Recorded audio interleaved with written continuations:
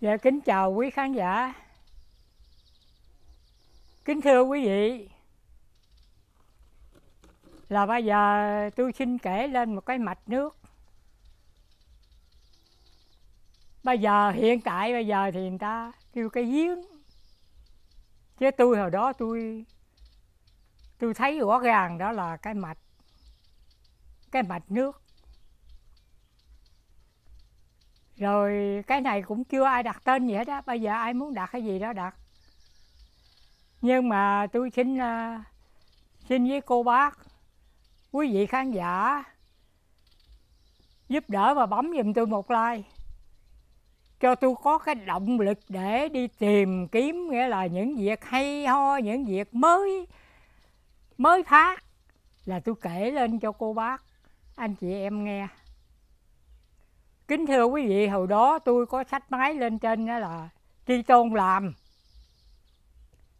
Làm ở trên đó là ấp phước lộc này nè, xã ô lâm, huyện tri tôn. Tôi có làm ở trên mười mấy năm. Tôi biết gành chỗ này. Chỗ là cái bây giờ á, người ta kêu là cái à, cái giếng à, cái giếng mà tà trôi người dân tộc à kêu cái tiếng tà tà trôi. Tiếng dân tộc cười thành tôi nói nó cũng bỡ ngỡ. Cái giếng này xài cho là 600 hộ dân đó. Ở đó dùng dùng đó hiện giờ. Kính thưa cô bác, tôi xin kể lên, hồi tôi làm đó, là mười mấy năm nay rồi. Cái giếng này nó đã có trước mười mấy năm nay, nhưng mà hồi đó thì tôi kêu là cái mạch nước thôi, tôi có lại đó múc nước, có uống nữa mà. Đem máy móc đồ lên chảnh làm đó là lợi đó. Nhưng mà tới mùa mưa thì à, mấy ổng lắp lại. Bị nó nhỏ xíu mà, lắp lại làm ruộng. Rồi tới chừng mà cái mùa hạn hán như vậy nè, là mấy ổng ấy đào lên. Đào lên là có nước. Nước ngọt không có phèn, chua, chát, không có mặn ấy gì hết, nước ngọt. Mà xung quanh đó, đào chỗ nào không có hết á, đó, ở trên đồng khô có cháy vậy đó. Mà lại là cái chỗ này đào lên là có nước. Thưa quý vị là nó có lâu đời, nhưng mà không ai quan tâm. Quan tâm là trong thời gian này nè trong thời gian mương rảnh gần đó đã khô cạn hết rồi. Tôi ở đây cách mấy chục cây số nè. Mà đầu dưới sông đó nước còn có nửa sông hả cô bác à. Đó, còn ở dưới đáy sông nè nó cạn vậy lên đó. Thành ra ở đó giờ không có nước xài. Thì à, người ta đào lên chiều ngang á thì ba bốn thước gì đó à nó nhỏ không có phải lớn mà kêu ao hồ gì hết trơn á. Bởi vậy tháng mưa thì lấp, có nước xài rồi lấp làm ruộng. Còn nắng hạn như vậy đó là đào lên đặng đi vô đồng rồi đó. Ai không có nước đi lại đó múc nước xài múc nước uống. Đó. Còn cái quan tâm nhất nữa là cái năm nay. Năm nay vậy các tỉnh như là bến tre, trà vinh, sóc trăng này kia, cái nọ đó, phải nước đem tới. Ở ờ, nước ở cửu long đem tới. Ở an giang hay là đi ra, nghĩa là cái cái nguồn à, sông tiền. Múc nước đó xe chở vô cho người ta uống xài. Chứ nước kia, bị nước ngọt này nó quá cạn kiệt thì nước biển nó tràn vô mặn xài không được. Thưa cô bác, là vì ở tôi ở đây đó, kêu tỉnh an giang rồi. Mà gần giáp ranh với kiên giang. Thành ra ở đây là có thể chịu đựng trong vài tháng nữa, có thể nước pha chè à, cô bác à. Nó lâm le tới nước mặn á bị vì nước mình quá cạn kiệt thì nước ngoài biển nó phải rỉ vô chứ không có gì hết trơn á tôi xin kể lên là là trong thời gian này đó, nước xung quanh đều cạn kiệt hết, không có ai có nước xài. Thì ở trong đó đó, không phải xài mà 600 hộ dân này mà xài đó không. Những người người ta đi xe Honda, những người người ta xin xe đạp ở xa nữa, cô bác. Người ta lại đó can đó thùng can hai chục lít đó người ta lại đó là người ta múc nước đó. Múc nước đó đem về xài. Mà thậm chí tới cái chỗ mà kém nước quá rồi đó người ta tắm người ta không bỏ nước đó cô bác. Người ta tắm người ta lấy nước đó, đó người ta giặt đồ lại đó. Người ta không bỏ đó. Đó nước nó cạn kiệt như vậy. Thì cái hốc nước này đó ha mấy ổng kêu là cái giếng giếng tà trôi. Nhưng mà theo như tôi biết đó là tôi nói là cái mạch nước. Bởi vì tôi biết mười mấy năm trước lận mà tôi đem máy móc lên đó tôi làm tôi biết chỗ đó à, mười mấy năm trước lận chứ không phải mới đây đâu. Nhưng mà cái giếng này á, kêu bằng cái giếng là mấy ông đào ra bởi chứ hồi đó không có. Bài đó là cái dài thước vậy chứ không có được như, hai ba thước vậy chứ không có là là bự như bây giờ. Không có dài đồ này kia. Bây giờ một ngày một làm mình thêm bị gì nước nó cạn kiệt quá. Nhiều người lấy lấy tới ban đêm đó cô bác lấy tới 10 giờ đêm đó. Mà hồi đó đó là có cái ông này nè là người dân tộc. Đi lên đồng đó anh em tôi mới cài anh em tôi làm hai, ba chiếc máy cài làm ở trên đồng á. Nước không có. Với nước đổ máy rồi không có. Rồi nói với ổng, ông sao đất ông mà nếu muốn cho tôi xới đất ông đó, thì ông đi kiếm can nước đi, lại tôi đổ cái máy tôi. Rồi tôi chạy, giờ máy hết nước, nó khô nóng quá, chạy, nó lột lên trơn à. Rồi ông chịu khó ông đi, cô bác rồi mình cũng thăm chừng coi ông đi đâu. Đặng mình tìm nguồn nước mình sống chứ không lẽ đất ổng mình làm rồi ổng đi xách nước cho mình nữa sao? Đó, rồi sao mà ổng đi lên trên đồng khô có cháy ờ, xung quanh đồng không à? Không có gì hết trơn á. Nhưng mà ổng xuống đó múc nước được. Mà hồi đó múc nước á, thì cái mạch nước còn nhỏ hay sao nó cũng hơi lâu, múc hơi lâu. Rồi mới chặt cái cái tàu xúc lốt á, cô bác, lại cặm lại cầm ngay đó cái mình ngồi cho mát vậy đó mà. Cho mát vậy cái múc nước. Còn bây giờ không có cầm tàu nào hết trơn á. Dầu cầm tàu nào đông đảo quá trời, người ta cũng lấy ra nhổ lên, người ta dục bỏ à. Ờ, người ta xuống đặng mà người ta múc nước à.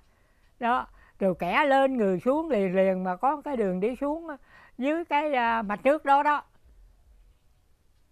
Tôi thì tôi kêu cái mạch nước, còn bây giờ thôi theo kêu với mấy ổng đi.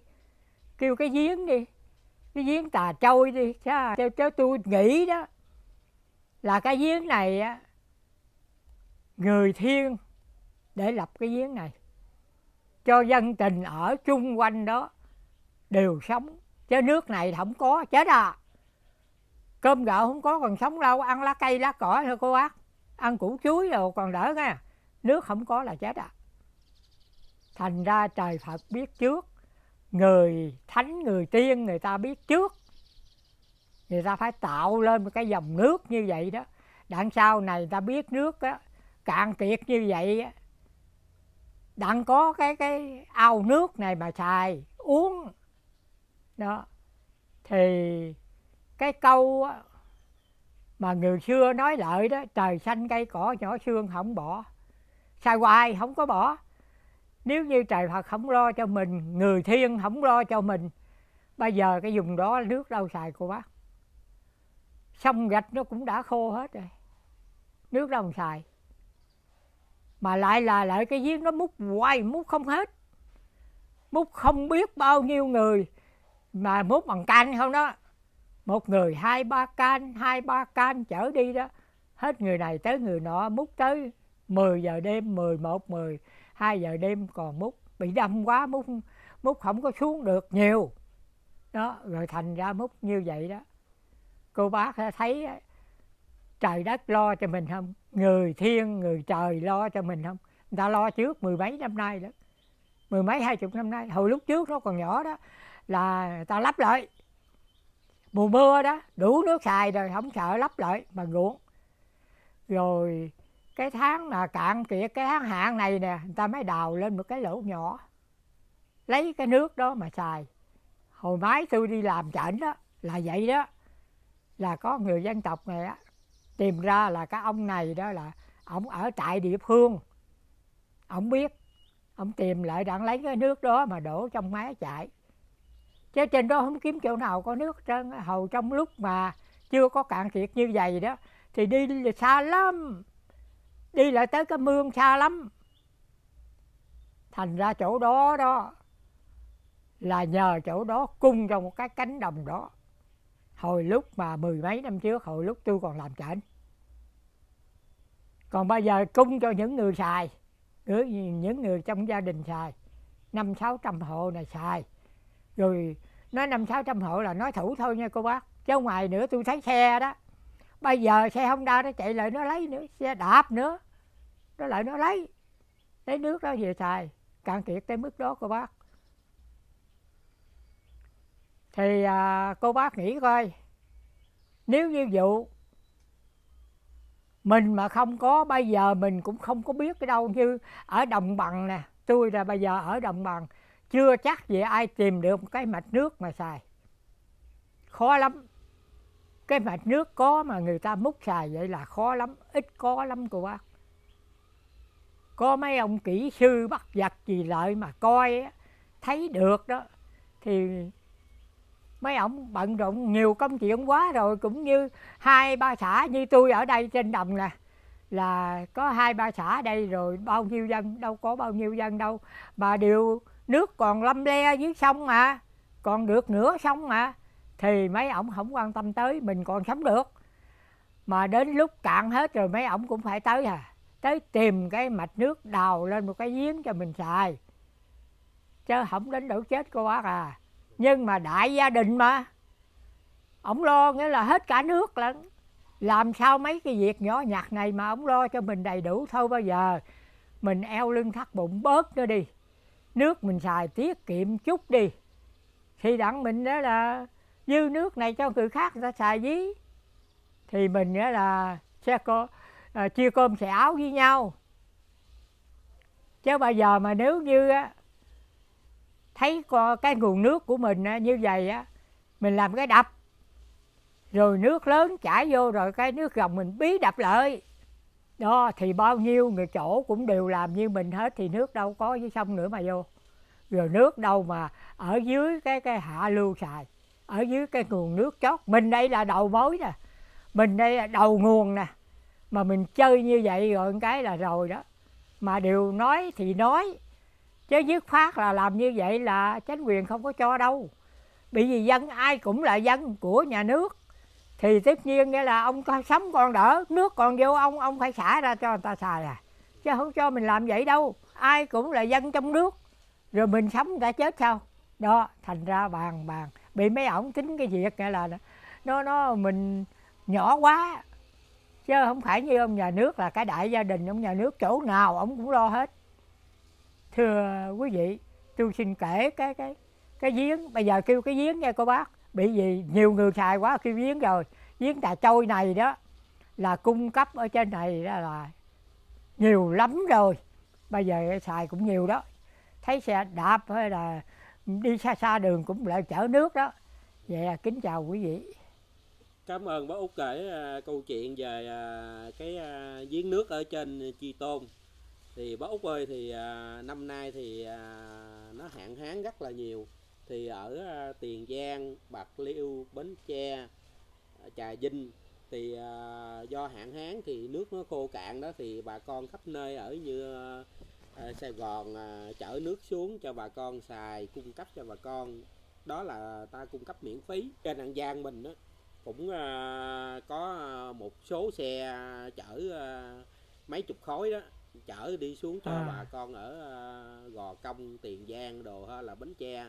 Thì hiện bây giờ á một số mạnh thường quân ở an giang mình á thì có làm một cái tổ chở nước về dưới nhiều dữ lắm mình thấy bà con an giang mình cũng rất là quý cũng uh, thương bà con khắp nơi. Thì với cái đặc biệt nữa thì ở An Giang mình có được cái cái cái chờ ban là được cái giếng ở Tà Choi ở xã Ô Lâm ở trong Chi Tôn. Thứ hai nữa là được cái cái giếng gọi là cái giếng thằng ở bên Phú Tăng của An Giang mình bố thì à. hai cái giếng này là nước không bao giờ cạn dù trên đồng uh, đồng khô cỏ trái như thế nào mà hai cái giếng này nó không có cạn. Coi như cái đất an giang mình cũng gọi là cái đất phật thì cũng uh, thấy ờ, cũng là điều may mắn cho bà con mình. Thứ hai nữa là mình ở đầu nguồn nó cũng uh, nước nó cũng đầy đủ hơn các tỉnh dưới. Giờ thấy bà con ở dưới uh, nước khô hạn thấy cũng tội lắm. Bà con đem can lại đó cái mạnh thường quân các nơi đó chở năm bảy chục khối nước ờ, là bình nước rồi đó cái bơm nước vô cho bà con. Mình thấy mình ở đây là cũng là rất là quý rồi đó bố. À, đây rồi à, à, tôi ờ, cũng phải gắng tìm tới một cái mạch nước khác mới nghe nhưng mà tìm cho chính xác tôi mới dám kể lên cho cô bác nghe. Thì đây à, còn tôi còn đang tìm tìm lại cái mạch nước khác này đây đã có xuất hiện nhưng mà chưa dám kể. Đây rồi tôi xin là tìm cho chính xác rồi tôi kể lên cho cô bác nghe. Cái chuyện này á, là tôi cũng nghe ông bà truyền khẩu lợi. Nhưng mà có cái nhân vật, sự thật. Bây giờ tôi xin kể lên đây. Kể lên hồi lúc mà ông bắt giặc lan đó, còn nhỏ thì cái quê của ổng á ở hạt xe đét. Bây giờ kêu tỉnh á tỉnh xe đét đó quê ổng ở đó. Hồi còn nhỏ là ổng học ở Việt Nam này thông minh sáng suốt quá đi. Rồi ông mới là được là pháp. Nó chiều chuộng cho học bổng, đem về pháp học. Về pháp học đó, thì hồi đó mà kêu học từ cấp bậc cấp bậc lên đó, thì tôi tôi quên. Như hồi đó là tiểu học, rồi trung học, rồi trung học đệ nhất cấp, rồi gì đó, rồi à, đít lơm chú tài đồ gì đó bây giờ tôi quên cô bác. Kêu hồi đó kêu khác hơn bây giờ. Không phải giờ kêu như là đại học đồ này kia rồi, rồi bác học gì ờ, gì sĩ này kia kia nọ đó. Bây giờ là khác hơn hồi đó. Còn hồi đó là chú tài tích rơm đồ này kia kêu đó. Nhưng mà ông học ra tục bực quá giỏi đi. Rồi khi mà ông đi về nước đó thì hồi đó pháp nó cai trị nước việt nam mình rồi. Ổng về nước, thì nó kêu pháp, nó kêu ổng làm việc. Ổng có làm việc cho nó một thời gian. Nhưng mà làm việc với nó đó, vì tự pháp nó không tin người việt nam cho mấy. Thành ra nó trái ý với ổng hoài ha ổng không có chịu làm việc với nó nữa nhưng mà pháp á, cỡ lúc đó nó mới cầu cạnh ổng là qua bên Trung Quốc á, làm cái đường sắt. Thì ổng cũng đi đi qua bển làm cái đường sắt, xong sại hết. Thì ổng mới trở về nước. Pháp nó dụ ổng dữ lắm. Khi mà làm cái cầu ổng à, xuống dưới bạc liêu á làm cái cầu ở dưới bạc liêu. Làm cái cầu bạc liêu đó đó. Thì pháp chiều chuộng vậy chứ nó không có tính ổng. Nó đem ổng xuống dưới, nó dẫn ổng xuống dưới, mượn ổng coi giùm. Ông coi giùm cái cầu này tôi xây vậy đó mà vĩnh viễn hay không? Nó có thọ được hay không? Cái ổng cầm cái gậy, ổng đi, ổng chống chống mà. Ổng nói như nó chơi gì cô bác ơi. Ổng là mấy ông xây này đè mấy ông xây cái cầu chỗ này đâu có thọ được. Yếu số chứ không có thọ. Pháp nó cười đi. Chứ còn cười khinh bỉ chứ không phải cười vui mừng nha, cô bác cách cười của nó để phinh khinh bỉ hay là ông Lan dữ lắm. Mà ông Lan á, thì ổng đâu có nghĩ tới cái việc đó. Coi mấy ông pháp này là thừa đấu bằng ổng. Rồi đến khi về à, trong thời gian sau cầu sập thiệt cô bác. Bị gì đất không chưng, cầu đó sập. Bao nhiêu người tin tưởng ổng quá. Tin ổng quá mới tôn ổng lên là bác vật ổng là tên lan, nhưng mà tôn ổng lên là bác vật lan. Trong thời gian đó pháp nó cũng hơi là ngán ổng rồi. Nó người việt nam nhỏ người mà trí não quá cao. Trên này mà dòm chỗ đất cái mấy thước ở dưới. Cái nó xây cái đường lộ nghĩa là xây từ ở um, nó làm con lộ từ ở uh, Long Xuyên. Hồi đó kêu tỉnh Long Xuyên lên tỉnh Châu Đốc. Tỉnh không à? Chứ không phải Châu Đốc ờ, thị xã rồi hay gì đấy ờ, Châu Thành rồi như vậy không có, tỉnh. Châu Đốc cũng tỉnh nha. Nó xây cái cái ờ, cái đường lộ đó đi là đi cặp theo máy sông, đi thẳng lên. Pháp nó cũng khôn lắm nó cũng coi thiên thời địa lợi dữ lắm. Ở dưới thì tàu nó chạy được, trên xe nó chạy được. Nó qua mình, nó cai trị mình mà, nó sợ mình dữ lắm. Nhưng mà nó cai trị mình. Nó làm như vậy. Ở tại cái dầm mặt dưng này đó thời kêu mặt cần dưng, là nó làm cái mang cá rồi đó cô á. Nó xây hai bên mà mang cá, xong xài hết mà ngoài mé sông á. Xây rồi cái nó chớ nhớ chực lại. Đâu bao giờ mình kêu ông Lan lại coi thử coi coi giùm mình coi. Chứ giờ ổng nói ở dưới bạc liêu một cái là Iran rồi, không có xe chạy, bây giờ lại coi. Cái cướp bắt giật Lan lại. Bắt giật Lan đó là người dân chúng đặt lên. Kêu ổng là người bắt giật rồi Pháp nó cũng tin ổng là bắt giật chứ ông học cao hơn cái đó nữa, chứ không phải là bắt giật đồ đâu. Rồi rước ông lợi rước ông lợi ông cũng cầm cây gậy, ông ông nói như đó chơi à. Ông đứng cái bờ kinh ở bờ kinh đó là mặt cần dân đó. Ông đứng phía bên đây, phía bên lò heo đó. Ông đứng lấy bà ton vọng vọng vọng cái ông cười mấy pháp hỏi ông ông không nói. Ông nói, chưa, coi chưa rồi. Mấy bay hỏi tao rồi tao nói rồi, nếu ví dụ có xe chạy rồi mấy bay là coi tao ra gì. Để tao coi cho chính xác rồi tao nói rồi bay tin không tin thôi, mặc kệ bay. Ông nói chuyện với pháp nghĩa là ông không có để pháp chút nào hết trơn á. Bởi vì ông giận là qua cai trị nước việt nam đó. Ông là người việt nam ông giận, ổng thèm làm việc với nó nữa mà. Làm thời gian thôi nghỉ, nó không nghe lời ổng ổng nghỉ đó. Cái ổng qua phía bên kia, ổng cũng vọng vọng cây à, gậy của ổng vậy. Ổng đứng đó, mấy bay đừng xây đây.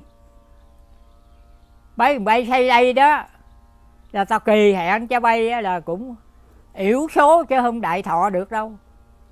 Bay muốn đại thọ, bay nghe lời tao ra thôi giờ nghe lời ông bác vật rồi đó. Ông bác vật chỉ coi cái cầu này giờ đâu. Cái ông bác vật lan đi vô trong chợ mặt dưng đó. Đi vô tại chợ mà mặt dưng gần chợ mặt dưng đó. Bây giờ cái cầu còn, con đường còn, cầu còn đó có bác. Ông coi hai bên bờ đất rồi đó. Ông nói đây đất liền nè. Bắt cái cầu đây đi. Bắt cái cầu đây thì là được đại thọ còn bắt cây cầu ở ngoài mé kinh, ở ngoài mé sông ngoại đó là tiểu số nghe. Thì pháp nghe lời đã bắt. Nó bắt cái cầu mặt dưng đó, kêu cầu mặt dưng bây giờ là cô bác thấy cái cua đó không? Cái cua kêu bằng cái cua còn công hơn cái dành thúng nữa. Mà nó làm, nó sợ rồi. Nó sợ bắt giật lan rồi. Nó làm cái cua đó xe nào qua ngoại quốc đi qua thấy cái cua cũng hết hồn hết trơn cái cua nghĩa là quẹo bị gì bắt cái cầu biệt trong này mà cái đường thì nó phá ở ngoài mé sông. Đó phải làm quẹo đâu phải thành cái cua đâu quá sức cái cua. Cái cua chữ ít sờ à. đó. Cái cua đó cũng chết nhiều bạn rồi nha cô bác. Những người mà chưa biết à, chạy xe lẹ lẹ bẻ hôm qua nhụi xuống bờ lề gây tai nạn chết. Nhiều bạn lắm à. Rồi pháp đó làm như vậy rồi đó thì đâu có lâu cô bác. Chừng cỡ tôi nhớ lại coi. Chừng cỡ sáu bảy năm cô bác. Thì cái uh, kinh mặt dưng này đó ở ngoài đầu kinh đó là nó sụp cô bác. Không bắt cầu mà sụp nó sụp xuống rồi chỗ đó nước nó sấy là ghe buôn, người ta đi ta chờ con nước ta đi không đó. Chờ con nước đứng lớn, mấy ga dầm kinh. Đứng lòng mấy ga dầm kinh. Hồi xưa mà nếu như còn nước lớn, nước gồng, nước chảy thế nước chảy chừng nào thì chỗ đó nó sấy hung chừng đấy. Mà ghe khẩm khẩm ra đó, nó sấy quay ghe chìm đó, chứ không phải chơi à mà bây giờ nó hết sấy đó thì tất nhiên cái đó nó bồi lấp lại. Như là cái hang đó nó nó không còn nó không còn sấy nữa. Nhưng mà chỗ nước chỗ cái giọt nước đó nó còn dặn chứ sấy thì không còn sấy. Hiện giờ nè. Đó, hiện bây giờ cô bác nào đi lại dàm kinh mà mà mặt cần dinh đó coi có y gì vậy không? Chứ hồi đó tôi lớn đời đó là chỗ đó nước sấy đó. Pháp á lúc qua mình nó tìm dữ lắm cô bác ơi nó tìm vật này vật nọ dữ lắm. Tìm cũng như mấy mỹ vậy đó. Mấy mỹ thì nó tìm mới là núi cấm nó khoan nó làm ở dưới. Nó lấy lên vàng đó cô bác. Mà nó che vàng còn non xài không được. Chứ không thôi phá banh núi đó mà trời không cho. Chứ mỹ nó làm gì không được. Banh núi đó thì nó bom mới là chiếc b 52 nó lại nó dám bờ thảy à, bơm la ben ở trên đó là nó nó nghịch với trời biết là bao nhiêu cô bác. Nó thảy bơm ở đó, hồi hai chế độ nó thảy bơm ở đó mà nhà tôi dưới này nhà thiết là là rung rinh đó. Thèn thèn thèn thiết đó. Thì cô bác nghĩ coi nó bỏ cỡ nào à. Hai chiếc cái lợi thấy sáng xuống rồi lên thì kể năm bảy trái. Nó bỏ nguyên dây vậy đó. Thì cái núi đó mà có vàng nó xài được rồi nó phá hết trơn, nó phá lấy vàng đó hết à. Nhưng mà chư thần chư thánh không có cho. Vàng đó xài được cái sao không? Nhưng mà đem lên thấy non. Xài không được, vậy cho nó không xài, chơi vậy đó. Cái đó lấy không được. Còn thằng pháp á, nó lên thì nó tìm. Mấy cái hang đó nó tìm. Nó tìm coi, xuống dưới cho thật sâu, coi coi cái giống gì ở dưới. Đặng nó xuống thì nó cũng tìm, nghĩa là ngọc ngà châu báu những củ quý rồi nó tìm vậy mà cái lúc ban đầu hả thầy á, thì mà nó bắt chó mèo, nó làm cái củi bằng sắt, đem lại nó thầm xuống đó đó. Bề xuống mấy năm thước đó cô bác. Thầm xuống dưới rồi nó quay lên. Quay lên thì chó mèo chết đi. Chết chứ không còn sống được. Nó thấy, ủa, sao vậy cả sao lại á, bắt một thằng tù thằng tù người việt nam mình đó, nó đọc vậy đó, nó thí nghiệm mà nó bắt thằng tù. Kêu án tử hình đó, nó bắt lên đó, nó thả xuống. Cũng bỏ trong cái củi đó đó thầm xuống. Nó bắt thằng tù, nó thầm xuống, kéo thằng tù lên chết chết gắt à. Bắt giật lan tự nguyện. Nếu ví dụ như mấy ông nói như này có cái khí độc, có cái chất độc, để chó mèo người xuống chết tôi xin đi. Đi dưới tôi coi coi cái gì. Trời ơi, bác Nhật Lan là cũng người, một người gì sao gì đó à cô bác. Mới dám xin xỏ mà đi như vậy. Đồng ý, nó đồng ý thòng bác Nhật Lan dưới. Thòng xuống dưới thì bác Nhật Lan nói, ở dưới mát mẻ vô cùng. Quy nga đồ sổ dưới cái hang đó đó, là bác Nhật Lan đi xuống thấy có mâm cơm ở trên cái mặt bàn đá nè, cái mâm cơm. Bác Nhật Lan ăn. Cơm nóng hực, mà cơm tương nha cô bác. Rồi cái bắt giật lan lên.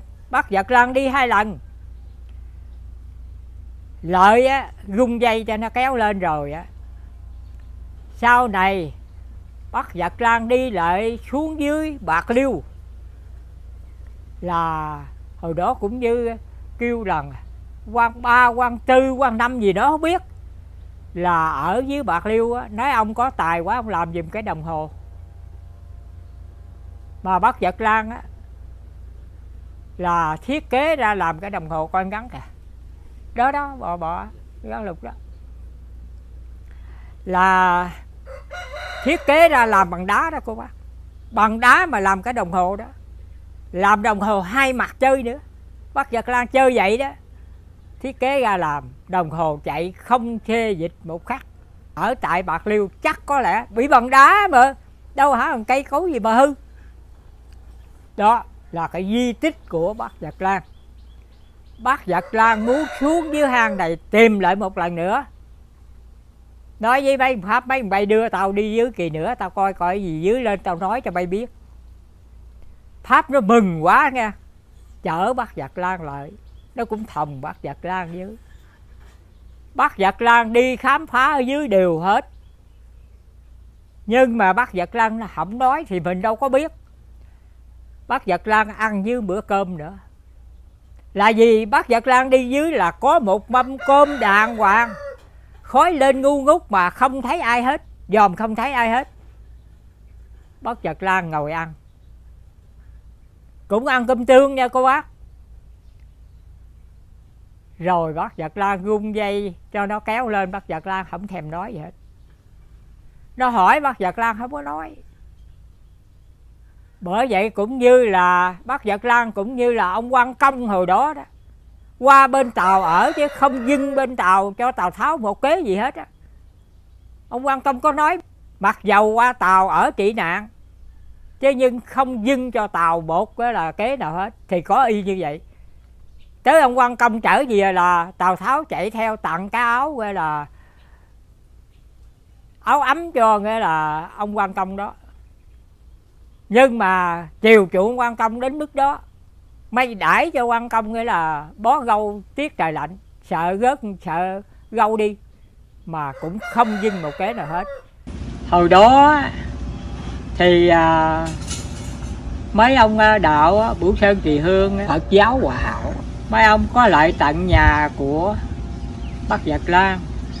Hỏi bác giật lan vậy mà ông đi khám phá ở dưới vậy ông thấy cái gì? Thì bác giật lan á nói mấy ông gắng tu đi. Gắng tu rồi nữa thấy là gì? Nữa đó là mấy ông sống cũng như đời thượng cổ vậy. Sung sướng lắm thì ông Bắc Việt Lan á, ông chỉ nói bao nhiêu đó thôi chứ ông không có thiết lộ ra cái gì nữa hết. Ông khuyến tu vậy thôi, mấy bên đạo đó khuyến tu, đặng mà sau này sống đời thượng cổ. Thì từ đó tới sau đó, ông mất tích luôn đó, mất tích luôn là tất nhiên. Ông đi lại hang đó, ông xuống chứ không đâu hết trơn á. Chứ trên trần gian này không có ổng nữa thì mà ổng không chết, ổng đi mất tích rồi biết ổng ở đâu bây giờ thì xuống đó chứ không đâu. Là mình nghĩ là cái như vậy. Nhưng mà ổng không thấu lộ gì ở dưới cái gì thêm nữa hết trơn á. Ông chỉ là nói có bao nhiêu đâu cô bác. Còn bác giật lan này khi đi trở về đó, biết gia đình. Nếu như mình vắng mặt rồi đó, gia đình nữa là pháp nó làm khó bác giật lan cỡ thời gian đó bác giật lan tự đi lên trên cái hang này, bác giật lan đi xuống là bác giật lan còn sống chứ bác giật lan không có chết nha cô bác. Người ta nói bác giật lan chết bị gì vắng mặt. Với hầu trong lúc đó vợ con phải để tang, phải làm đó, người ta nói chết rồi. Chứ nhưng mà ông biểu sáng phải nhắc cái hàng, con vợ phải để tang, phải đem ra chôn. Rồi người ta hỏi ờ, sao rồi vậy bác giật lan chết rồi đó? Chôn rồi đó cho pháp nó thấy như vậy đánh lừa thằng pháp. Chứ bác vật lan không có chết. Kính thưa quý vị, là vì bác vật lan đi nguyên hình xác như ông đức có quản mà. Không chết đó đời thượng cổ mấy ông này có thể trở lại đó, trở lại đặng bà hoàng hóa chúng sanh đó. Kính chào quý vị, kính chào quý khán giả. Kính thưa quý khán giả nếu tôi kể chuyện lên á thì tôi cũng nhờ quý khán giả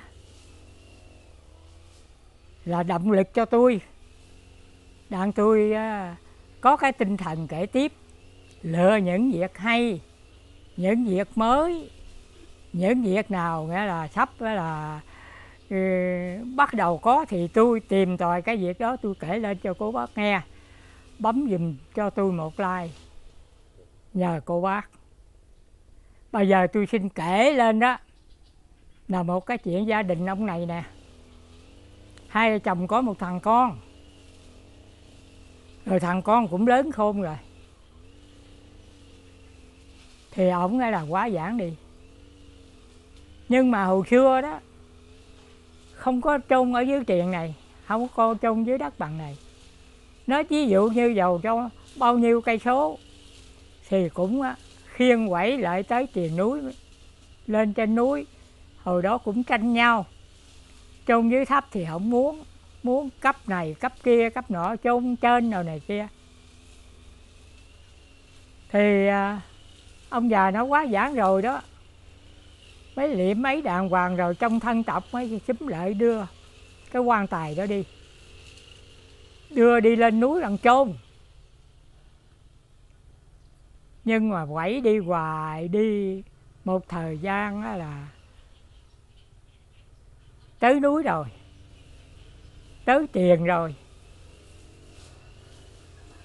Thì sao nó đứt dây, nó gớt cái quan tài xuống cô bác.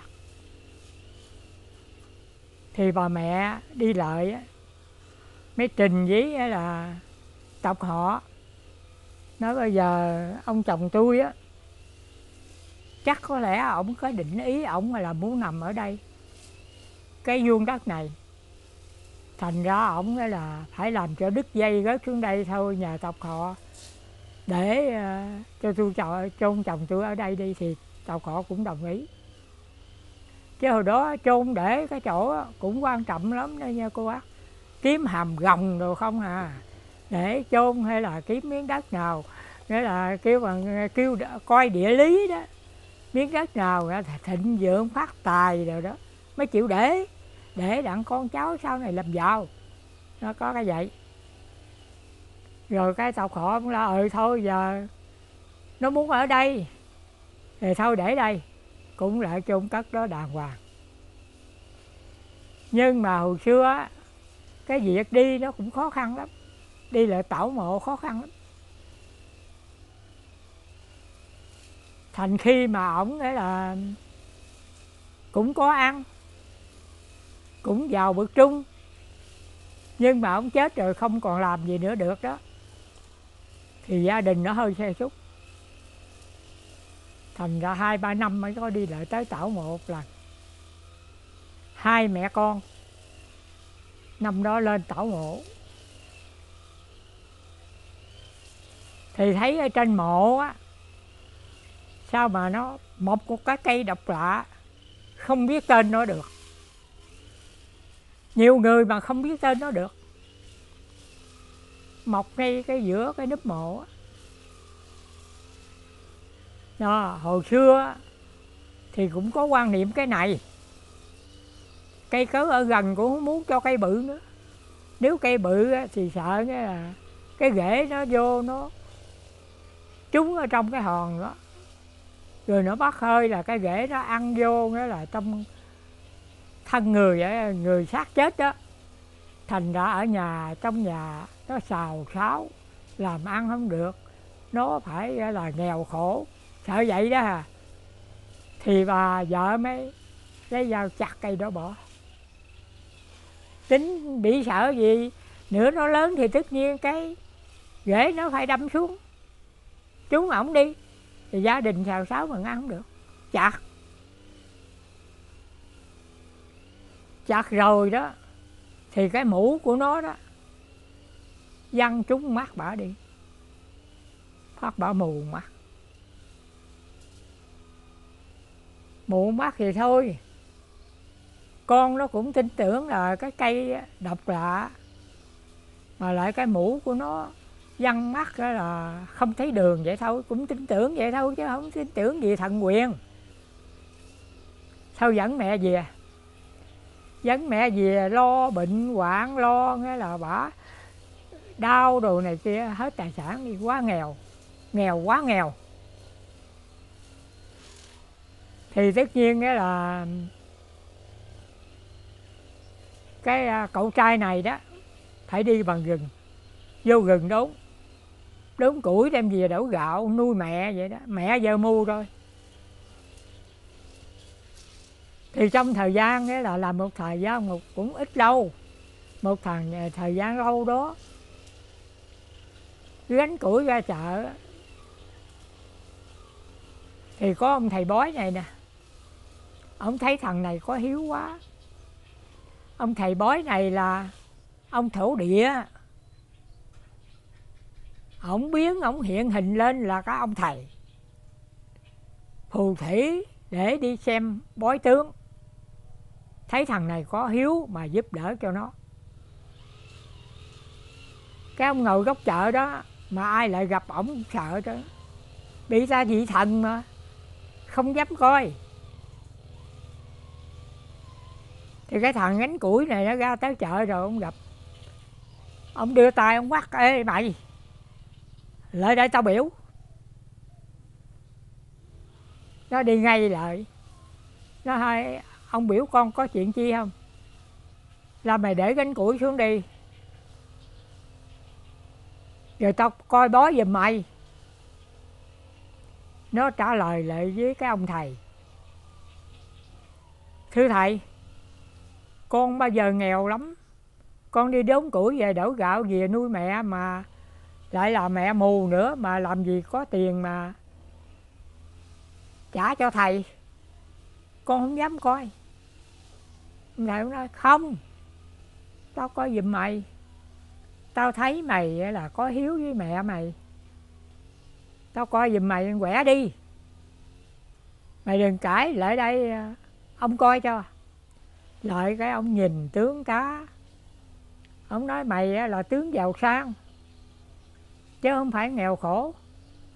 Là không ông, con nghèo lắm, con đi gánh củi mà. Đi chặt củi rừng về à, đỡ gạo.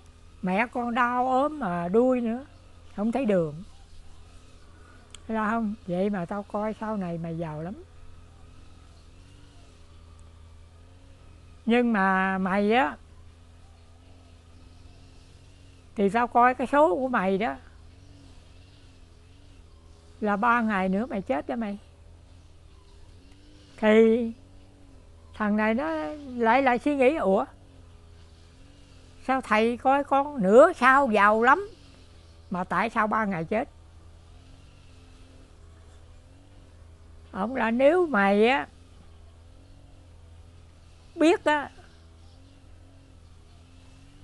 làm phước đồ này kia đó là mày sống à. Hỏi nếu phước á, thì bất trùng lai quả vô đơn chí. Mày làm quả rồi quả theo mày liền à. Sát như bóng như hình.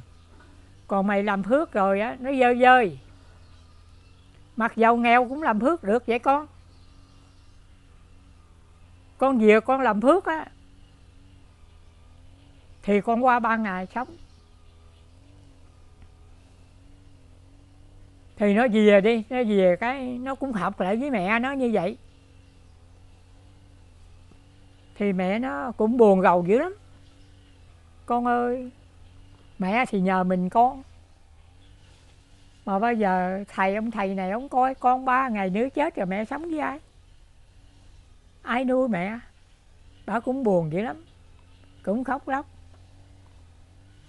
Đêm đó bà ngủ thằng con thì ngủ trước, mẹ ngủ buồn thì thằng con với bà mẹ nằm chiếm bao, một cái điểm lạ. Vẫn là hai người trùng hợp. Thì người con ở trước á, gặp ông già nghĩa là hàm râu tóc bạc, lớn người. Phương phi lắm, lại đứng trên đầu nó nói, con, sáng ra đó con đi cái đường, con đi đốn củi trên rừng đó. Con đi vô đó có người chỉ cho con. Đi lại cái giếng á, múc một chén nước. Về mẹ con uống á, là mẹ con hết bệnh và sáng mắt. Bà mẹ ở trong cũng y như vậy. Ngủ cũng gặp một ông đó là hàm gâu tóc bạc lớn người, đi lại đứng đầu nằm. Nè con con bệnh hoạn như vậy, mù mắt, là tất nhiên cái quả tiền căn kiếp trước của con. Con trả hết quả rồi. Sau này đó, con giàu có lắm à. Thì ông nói như vậy đó, thì con đừng có lo, đừng có khóc lóc nữa. Là vì là con của con nó có hiếu lắm. Thì giật mình thức dậy, không thấy ai hết tới sáng bà mẹ nói điềm chim bao thì người con cũng y như vậy. Thì nói được rồi. Vậy thì chắc ông á là thần tiên gì chỉ à, cho con đây. Đi múc chén nước về mẹ uống cho hết bệnh và sáng mắt lại. Cái, nó đi. Đi vô gần. Bữa đó kêu bằng, bỏ, không đóng củi nha, đi tìm à. Đi vô lại tới đó gặp hai ông tiên hai ông tiên ông. Ngồi đánh cờ chơi. Cái đi gần gần lại tính hỏi. Hỏi đây là gần tới cái giếng cái giếng trị bệnh chưa? Con đã thấy điềm kim bao mà múc chén nước đó về uống mẹ con sáng mắt và hết bệnh. Thì hai ông tiên này dòm lên. À vậy là mày thằng con chí hiếu hả? Thưa ông mẹ con đau con lo vậy chứ con cũng chưa biết chí hiếu là sao. Là vậy thì mày à, đi lại giếng đó đó. Giếng trước đó con đi thẳng đi. Lại đó có cái giếng nước. Rồi con lại đó con là quỳ lại ba lại nghe. Lại gì hướng tây á. Rồi con mới là giái chư thần chư thánh ở giữ cái giếng này đó. Cho con múc một chén nước này về cho mẹ con tên tên họ là gì đó, bao nhiêu tuổi? Uống chén nước này đã hết bệnh và sáng mắt lại. Là con múc một chén nước. Con nhớ nha, con nhớ múc nước một chén nước cho đầy nha. Đừng có múc ít rồi về mẹ con uống nó hết. Rồi nó không có làm phước người ta. Múc cho đầy. Nhưng mà con đi nhất phát là nước này không chặt không đổ. Vậy mới có cái linh đó cô ác rồi cái nó múc con chén nước nó chạy chạy không à chạy giết về mừng quá rồi. Được chén nước chạy về cho mẹ mình uống sáng mắt thiệt của bác. Về rồi bà mẹ, một chén nước uống sao hết nổi lần. Uống vô nửa chén. Thì tất nhiên nghĩa là trong mình bà thấy cái là khoảng khoái, khỏe mạnh, bình thường. Con mắt sáng trưng lại như xưa. Bà mừng quá thì ở xóm dòm lại thăm bà. Thăm bà rồi cái bà đọc như vậy rồi đó. Thì người ta mới xin. Thôi ai cũng có bệnh chứ tôi ờ, đau bệnh này bệnh nọ bệnh kia gì cái thằng này nó đem ra sớt người miếng. Chúa cái đó là cái làm phước đó cô bác. Nó làm phước đó. Nó lấy cái à, chén nó sớt ra hết. Ai uống cũng hết hết trơn á. Thì nó suy nghĩ hồi chút trong lúc mình nghèo quá, xóm tròm này coi mình quá rẻ. Nghèo mà không cha nữa bộ câu cha nữa mẹ đau nữa, coi quá rẻ. Mà mình ra chợ bán đồ, ở chợ búa cũng coi mình không ra gì, coi mình rẻ rúng lắm. Bây giờ mình nhờ gặp thần tiên dẫn chỉ cho mình được như vậy. Mà thôi, thấy kệ, cái hận thù bỏ qua, cái coi rẻ bỏ qua nhưng mà làm phước. Nó làm phước đó rồi đó, ha. Cái ở xóm tròm cấp đó mới trân trọng nó là mày được đi kiếm được thuốc tiên, trường sanh bất tử rồi về cứu à, cho mẹ mày. Như vậy là mày thật là có hiếu. Bởi vậy, cái có hiếu hay là không, do người ngoài khán giả nói hả cô bác? Chứ mình có hiếu mình nói mình có hiếu quá đi nữa, người ta cũng không tin. Hiếu sự thật trong bụng đó thì người ngoài ta thấy ta biết ta tin ta nói. Chứ mình nói ta không có tin. Cũng như là làm thầy mà vẽ bùa đeo ơn đó, nó không có linh nghiệm gì. Thành ra nghĩa là mình nói tốt, mình mèo khăn mèo dài đuôi là không có được. Cái trong lúc đó, thì mừng quá rồi. Thì ở xóm tròm người ta cũng đem cho gạo, thấy nghèo quá mà mà làm ta hết bệnh mà. Ta cũng cho gạo đồ ăn đủ, thôi bây giờ mình có gạo đồ ăn đủ rồi.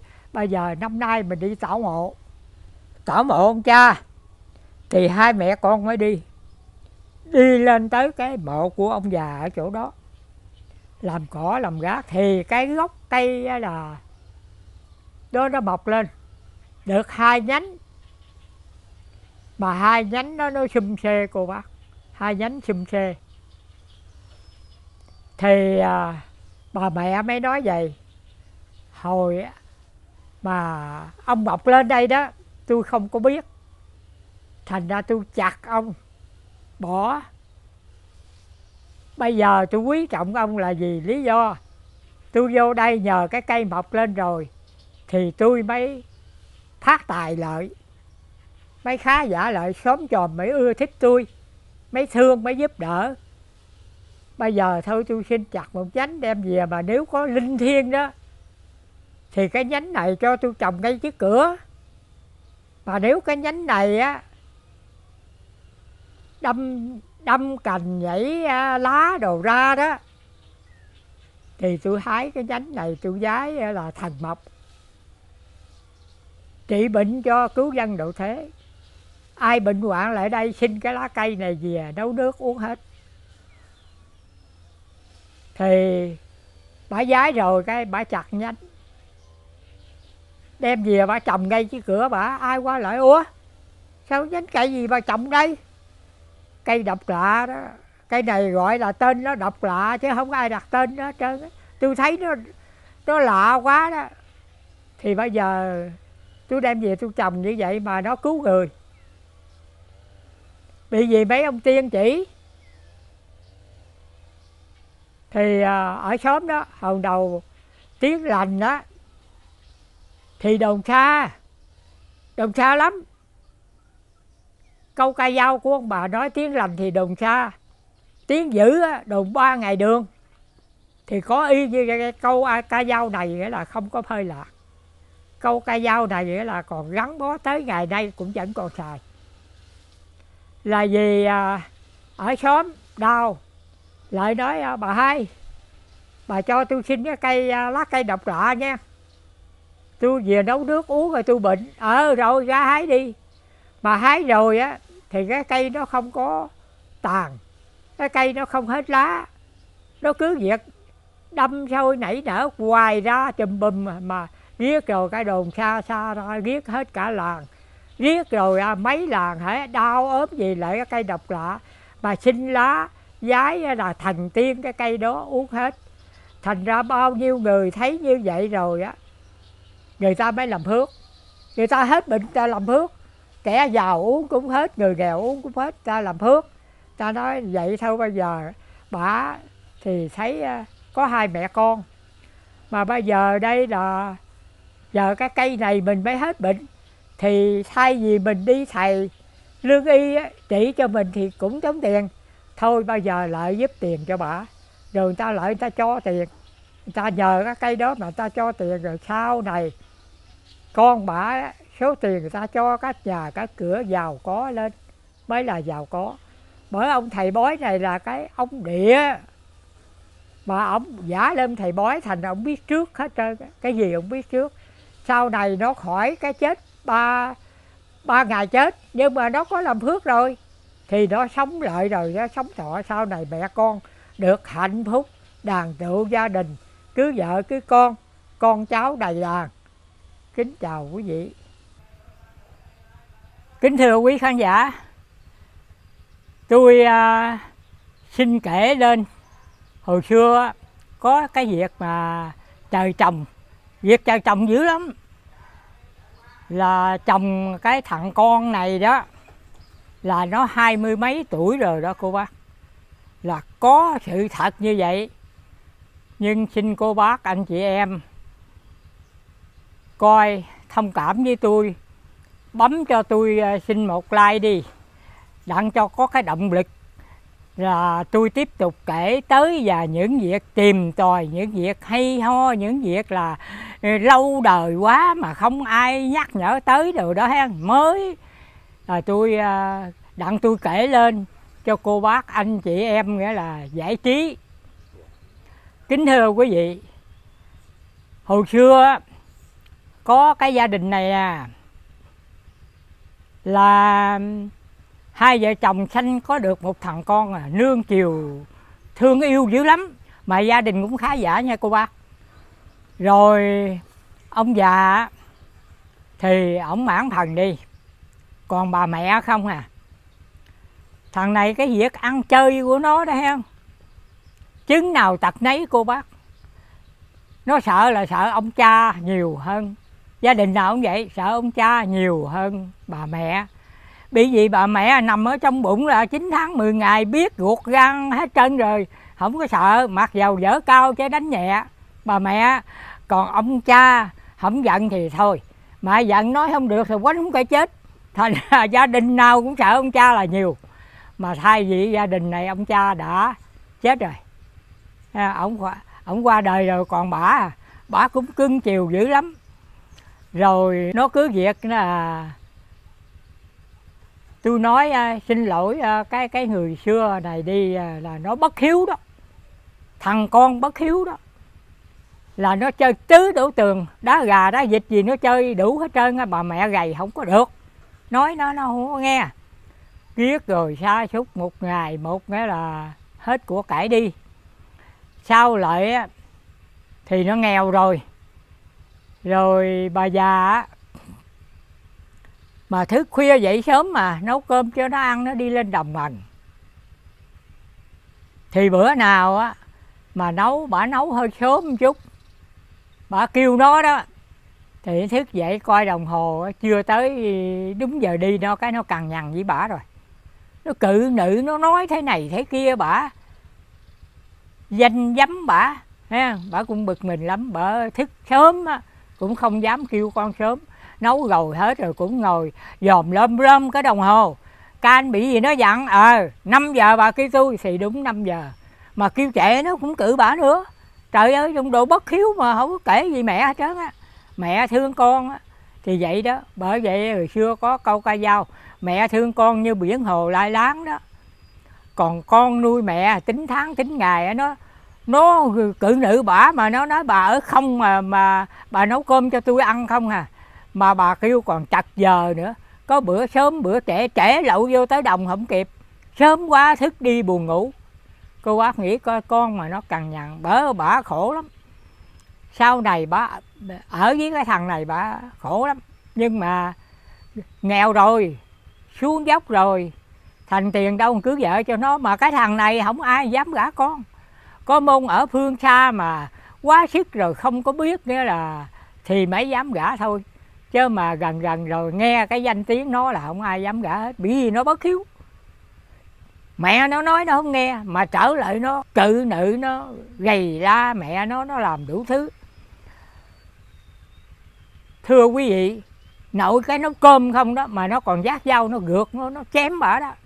Là vì bữa đó bà thấy ra bà quên coi đồng hồ đi. Là bà nấu cơm rồi gầu dở ra gầu mên rồi cho nó đàng hoàng, cái vô kêu nó. Vô kêu nó thấy sớm, ra dòm hồ thấy sớm. Nó hét lên đó đó tại sao bà kêu tôi giờ này mất giấc ngủ? Để cho đúng giờ bà kêu rồi tôi à, đi ra tôi đi mần, nó khỏe tôi cái bà trả lời, thì tao làm rồi, tao kêu mày mày muốn đi chừng nào mày đi. Nhào vô giật vô yếm ngược, bà ba tóc bà chạy la làng đó cô bác. Chạy đi lại sớm la làng người ta, xúm lại người ta, bắt nó lại người ta, la, mày làm cái gì ạ nói bà kêu tôi vậy đó. Người ta đó có quá đáng gì đâu. Đúng lẽ mày thức mày nấu cơm cho bà ăn, rồi mày dở mày đi mới đúng. Mày là con rồi tại sao bà lo cho mày vậy? Mày làm vậy nói cái nó cũng không thấm ý gì hết trơn á nhưng mà nhiều người khuyên lên cái thôi bỏ đi về giác phản đi mần. Đó có chút chuyện vậy đó mà còn làm nó nuôi gà đó nha cô bác. Ba bốn con gà. Gà nòi á gà đá ăn độ. Cái bà cũng chăm sóc cho nó. Bữa nào về đi mà nó dòm ở trong cái bội đó ha mà không có cái à, cái cái cái cái dừa nước cái gáo á, rồi à, gáo dừa đó hồi đó, hồi xưa chơi vậy không à rồi mới dùi ba cái lỗ cột treo lên vậy đó mà bà chính là cũng trai bả bằng. Nó ra lệnh à nó ra lệnh bả làm bằng. Bà phải làm cho gạo uống nước rồi kia. Nhiều bữa nào mà dòm ở trong cái cái gáo đó mà hỏng nước rồi đó là bả có chuyện với bả rồi đó. Là nó nó cự nữ bả, nó làm. Nó nó quý mấy con gà hơn là bả nữa. Còn thóc ăn đó thì chừng cỡ là, là nửa nửa nửa gáo nửa gáo thường xuyên. Mà thóc ăn đó thì phải cái là đem đi xuống sông giúp cho nó hết ba cái bụi. Ăn con gà nó không đóng cổ. Trời ơi chơi thằng này chơi ác rồi đó. Mà nó không làm. Nó mẹ nó làm. Mà nó đi về về nó thấy lúa mà ở trong cái cái à, cái cái, cái uh, gáo lúa ăn đó mà khô gan rồi ra là nó nó cằn nhằn bảo rồi đó cằn nhằn mà nói là hơi có tục tiểu nữa ở đây tôi không dám nói lên. Chứ nó nó thằng ngỗ nghịch mà, nó dám nói tới vậy nữa đó. Nhưng mà bả thôi, bây giờ con mình mình thương quá. Bởi tôi ờ, ông bà có nói, đó là hãy thương thì trái ấu cũng tròn. Dầu nó không bất hiếu hay gì đi nữa cũng thương nó hết trơn á. Rồi cái, đài bả này nha, đài cho đến mức. Rồi cái tới bữa đó đó nó giác phả nó lên, nó đà làm trên đồng á. Làm trên đồng nó về, sao mà con gà mắc phong mắc gió gì không biết, nó chết gà hay của nó đi. Gà ăn hai ba độ đó. Chết gà hay của nó đi, mà bả cũng chưa có hay nữa, nó chết ngoài bội á. Dòng thứ gà vịt mà cô bác hãy nó trúng gió ăn lát hãy cắt ngơ ngéo rồi nó chết, đâu có ai ai biết. Nó chết nằm ngoài bội. Cái nó đi ruộng về nó đi ruộng về cái nó chạy ra ngoài vườn tặng nó coi gà nó nghe. Nó coi gà nó sao có con, con gà hay nó chết. Chết trong bội trời ơi chở vô rồi một cái đó ha. Nó đi vô rồi nó dắt nó phản ở dưới sàn nhà rồi. Nó hỏi mẹ tại sao ở nhà bà không coi gà tôi để gà chết? Bà gà chết chứ đâu phải bà làm cho nó chết. Rồi bà cũng chưa biết là nó quá giận bà nói trời ơi, tao thì ờ, ờ, thức ăn, nước uống đầy đủ cho nó thôi chứ tao có biết đâu à. Thế là tại sao bà không ra bà dùm chừng? Bà trả lời, trả treo một hai tiếng với nó nó giật cái phản một cái gột. Ở dưới sàn bảo quán thần hồn, bà thoát cửa sau bà chạy. Bà chạy, bà la. Bà la chạy theo xóm này à bà la thì xóm ta chạy ra, người ta khuyên can. Giật phản giật đồ đó không được mà bí nó cầm cái phản bén mà ai lại gần đó nó quơ quơ mà ở xóm chòm chạy cũng khuyên can gượt đó ôm lại không được. Bà thấy không được rồi cái việc này không xong. Mình chạy đường thẳng nó theo nó chém mình chết ra, thoát vô đồng. Chạy tắt thí vô đồng. Tắt thí vô đồng rồi á tưởng nó bỏ. Nó không bỏ. Bà chạy vậy gần chết bà mà nó cũng bường ra đồng nó gượt bà. Nó gượt bà bà chạy quá sức rồi thì bà chạy hết nổi hết nổi thì cũng còn xa xa, năm ba chục thước vậy đó, bà đó đuổi theo hoài. Nó không chịu bỏ ờ, bả trở lại. Bà đó cứ theo bả hoài. Bà quản thần hồn mà bả chạy quá sức mệt già mà làm sao chạy ờ, lợi thanh niên ờ, cô bác? Bả dòm quanh quốc không ai hết bà ngồi bả lại nữa đó. Con ơi, con thư mẹ lại, con đừng chém đừng chém mẹ con ơi. Ha bà ngồi xuống bà lại đó mà thằng này dùng con bất hiếu mà chạy lại cầm cái phản dở lên đằng chém bà. Dứt định chém bà, con gà của tôi, con gà hay. Dở cây phản lên rồi sau nó gung tê tê mình vẫy hết trơn bà đó. Để cái phản xuống được cô bác để cái phản xuống được, nó gung tê tê vậy đó. Mà nó đứng giữa đồng vậy, đứng le lưỡi gung ra ta ta gung chân. Cái bà thấy vậy.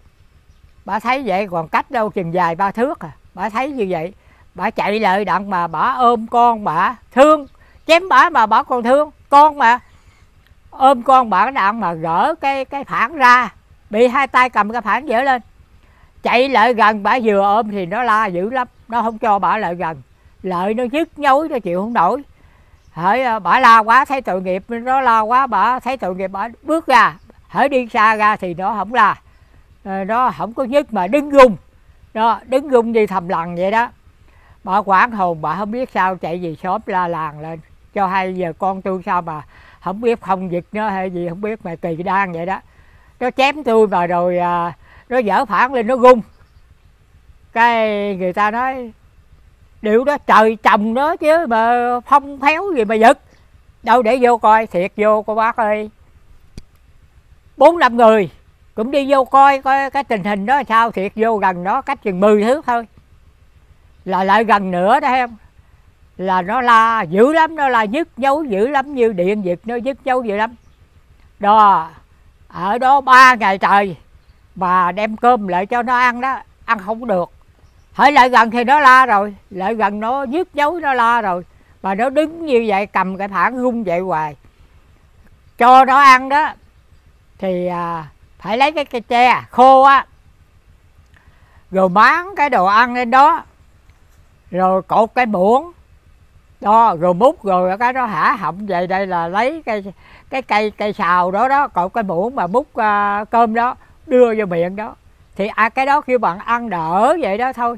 Ăn đỡ ừ, chứ không hương nào được hết trơn bị gì trời chồng rồi không cho chết liền. Phải ông đánh thì chết liền này, ông chồng đứng đó vậy cho nghĩa là dân dân ba tánh người ta lại coi, thôi lại coi y xèo ở trên đồng đó. Đi ra gạ nghĩa là dừ xuống hết trơn đó cô bác. Gạ, hồi đó gạ lúa mùa mà đi dừ gạ đó, đi lại xung quanh đó mà coi đó, coi trời trầm ra làm sao đó. Mà nó đứng nó gung vậy đó cô bác, nó gung đó không thôi, ngày đêm vậy đó, ai lại gần thì la. Rồi cái, cho nó ăn như vậy. Tới ba ngày thì bắt đầu sau một ngày á đất rồi đất khô chứ. Mà sau mưa xuống một đám mưa xuống một đám rồi thấy nó lúng tới đầu gối. Ai nấy thấy cũng sợ quá thôi bao giờ dám cứu đó đem đòn đem cây lợi đặng mày xỏ ngang kẹt háng đó nè. Bây dở lên đặng cho nó khỏi cái đầu gối đặng không ấy điều độ nó về.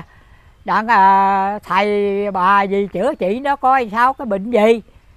Mà rồi làm không được cô bác khiêng nó lên không nổi đó cô bác thấy chư thần ta không cho lấy xác không? Tại đó là tại đó đó, chứ không không cho đem về nhà đó. Rồi đem nó lên không được. Rồi bắt đầu cái đó, rồi có cái đám trời mưa quá to, cái nước đất nó mềm, nó cứ lúc hoài. Lung xuống lung xuống lung giết tới lưng quần đó lung tới ngực nó nó mới chết đó. Mới hết la, hết lối được. Thì người ta lại gần mới được. Người ta gỡ phản đầu xuống mới được. Rồi là biết nó chết rồi đó em người ta nói thôi, bây giờ trời chồng mình cũng sợ mà ẩm nó lên đây, đào nó lên đây mà để vô hòm đồ chung đó thì không được. Thôi bây giờ mình làm cái mã đứng cho nó luôn đi. Đó, thì thành ra giữa đồng vậy mà có mã đứng của bác mã đứng khắc tên họ đó đàng hoàng. Đó, cho những người ta biết cái đó là trời chồng. Hồi đó trời ơi, chồng lắm. Hồi xưa con mà bất hiếu là trời chồng bị gì nói nó không nghe đó. Thưa cô bác, cái việc trời chồng này đó là không ai cứu trị đâu. Tại mình nắm ruột, mình nghĩa là con hay là cháu này kia, mình nắm quá, thấy nó đứng vậy tạo nghiệp. Thà là chết liền không nói, đứng mà gung vậy tạo nghiệp cũng muốn cứu nó đem về thầy bà cứu chữa mà thầy nào qua trời được. Cái số nó đã tới rồi, thì trời mới chồng nó đó thì bây giờ không có thầy nào mà cứu, cứu trị nó được hết trơn trời á cô bác.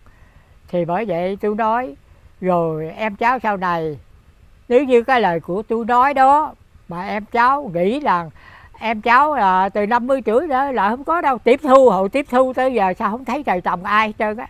Chứ hồi trước tiếp thu xa vời đó lâu lâu vài ba năm có vài ba năm có với trời đánh đó cô á trời đánh đó. Bộ gì tiếp thu tới giờ đã hợp thời rồi. Đó là thuận mưa thuận gió rồi. Với à, nó hiệp à, nó hợp với cái bàn trời rồi cái thành trời không có đánh nữa. Chứ ông thư hồi đó đánh liền liền hoài ha rồi cái à, mấy là không không có mần tình mẹ bà mẹ cũng nghèo quá rồi. Rồi xóm chòm người ta cũng bàn bạc với bà mẹ bà mẹ thì nói, con, tôi chết, tôi không có bằng tình bằng đồ tạo nghiệp nó quá. Ở xóm trò mấy ông già già mới nói, đã trời phạt rồi mà bà còn nghĩa là cầu xin cái gì nữa? Bà cầu xin tới đâu cũng không được trơn tới thiên đình cũng không được nữa. Không có ai qua trời, nghĩa là hạ giái này không có ai qua trời được, với người chư thiên cũng không qua trời được. Trời là là là một vị là giáo chủ ở trên trời ờ, là lớn rồi mà ổng phạt rồi, bây giờ bà dám không? Bà dám bằng tình cho nó không? Bà bằng tình cho nó rồi bà cãi định trời đó, không chừng chồng bà ở ngoài bàn đó, rồi bà khổ bà, rồi bỏ quán thân hồn bà cũng không dám bằng tình bằng tự gì hết, cô bác. Là vì cái thằng này nó chết, không ai bằng tình, không ai cúng cơm, không có cơm trong đầu nữa đó, cô bác. Trong đầu gì nó đứng vậy, làm sao trong? Để đâu đó sao? Đó là không có dám lập cái bàn gần nó hay gì hết trơn á. Làm cái gì gần nó nó la nó nhức nó đấu với chịu không nổi. Làm như điện chích đó ạ đã đi gần rồi mà là nó còn rung gãy, nó còn la, còn nhức. Rồi bây giờ làm gì? Thằng này nó chết rồi á. Tôi kính thưa quý vị, tôi suy nghĩ theo như tôi đó, thì tôi suy nghĩ thằng này nó không có đầu thai được. Vì trời phạt nó như vậy rồi, không có đầu thai được. Nó chắc dạng kiếp nó trả cái hiếu của nó dạng kiếp, rồi nó mới trở lên người hay cách gì thì tôi không có hiểu được. Chứ thấy hiện thời là nói như vậy rồi là nó không có đầu thai. Kính chào quý vị.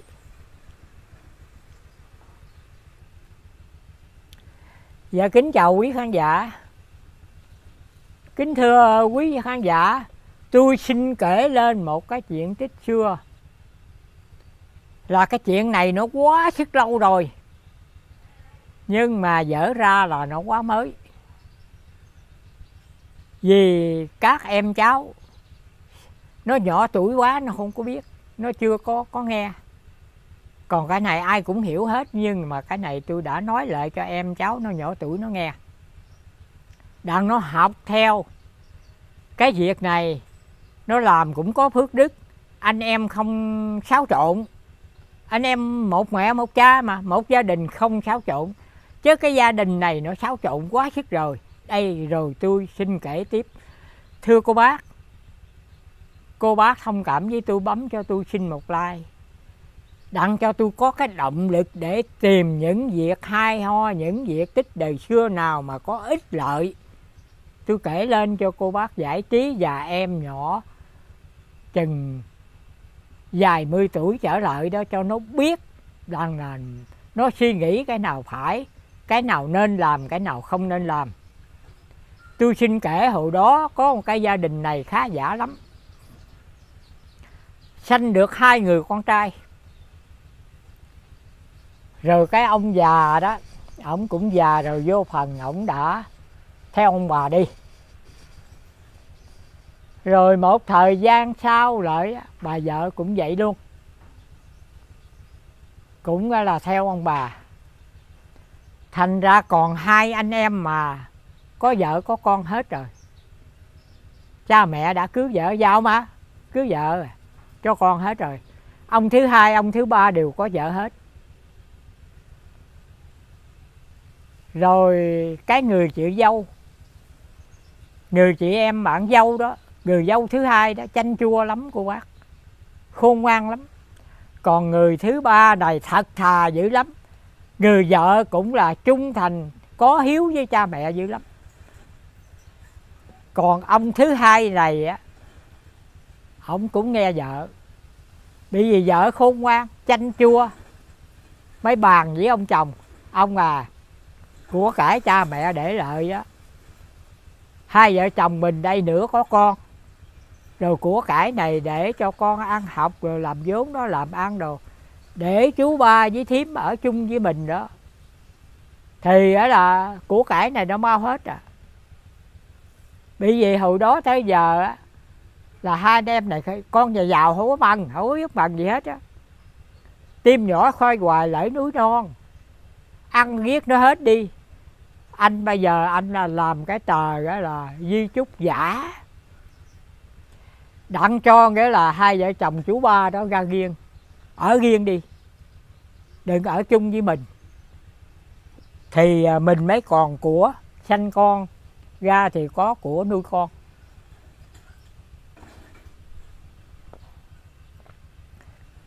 Cái ông thứ hai này mới nghe vợ bàn phải. Nghe vợ thương vợ dữ lắm, nghe vợ.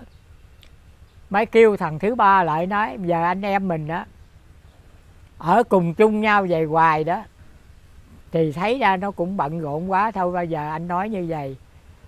Anh lấy cái tờ di chúc của cha để lợi. Mà ổng làm. Vợ ổng làm, chứ không phải cha mẹ gì chưa kịp bằng di chúc gì hết trơn á. Là có qua đời rồi. Cha có nói, cái gì cái đó là của anh, cái gì đực thì của em. Trong tờ di chúc để rõ ràng nè mà cái ông em này ông có hiếu dữ lắm. Hiếu với cha mẹ dữ lắm. Nói sao cũng nghe lời vậy hết trơn. Bị gì tin tưởng cái tờ di chúc. Thì ông anh đó là với người chị dâu đứng ra chia. Cái gì cũng cái không.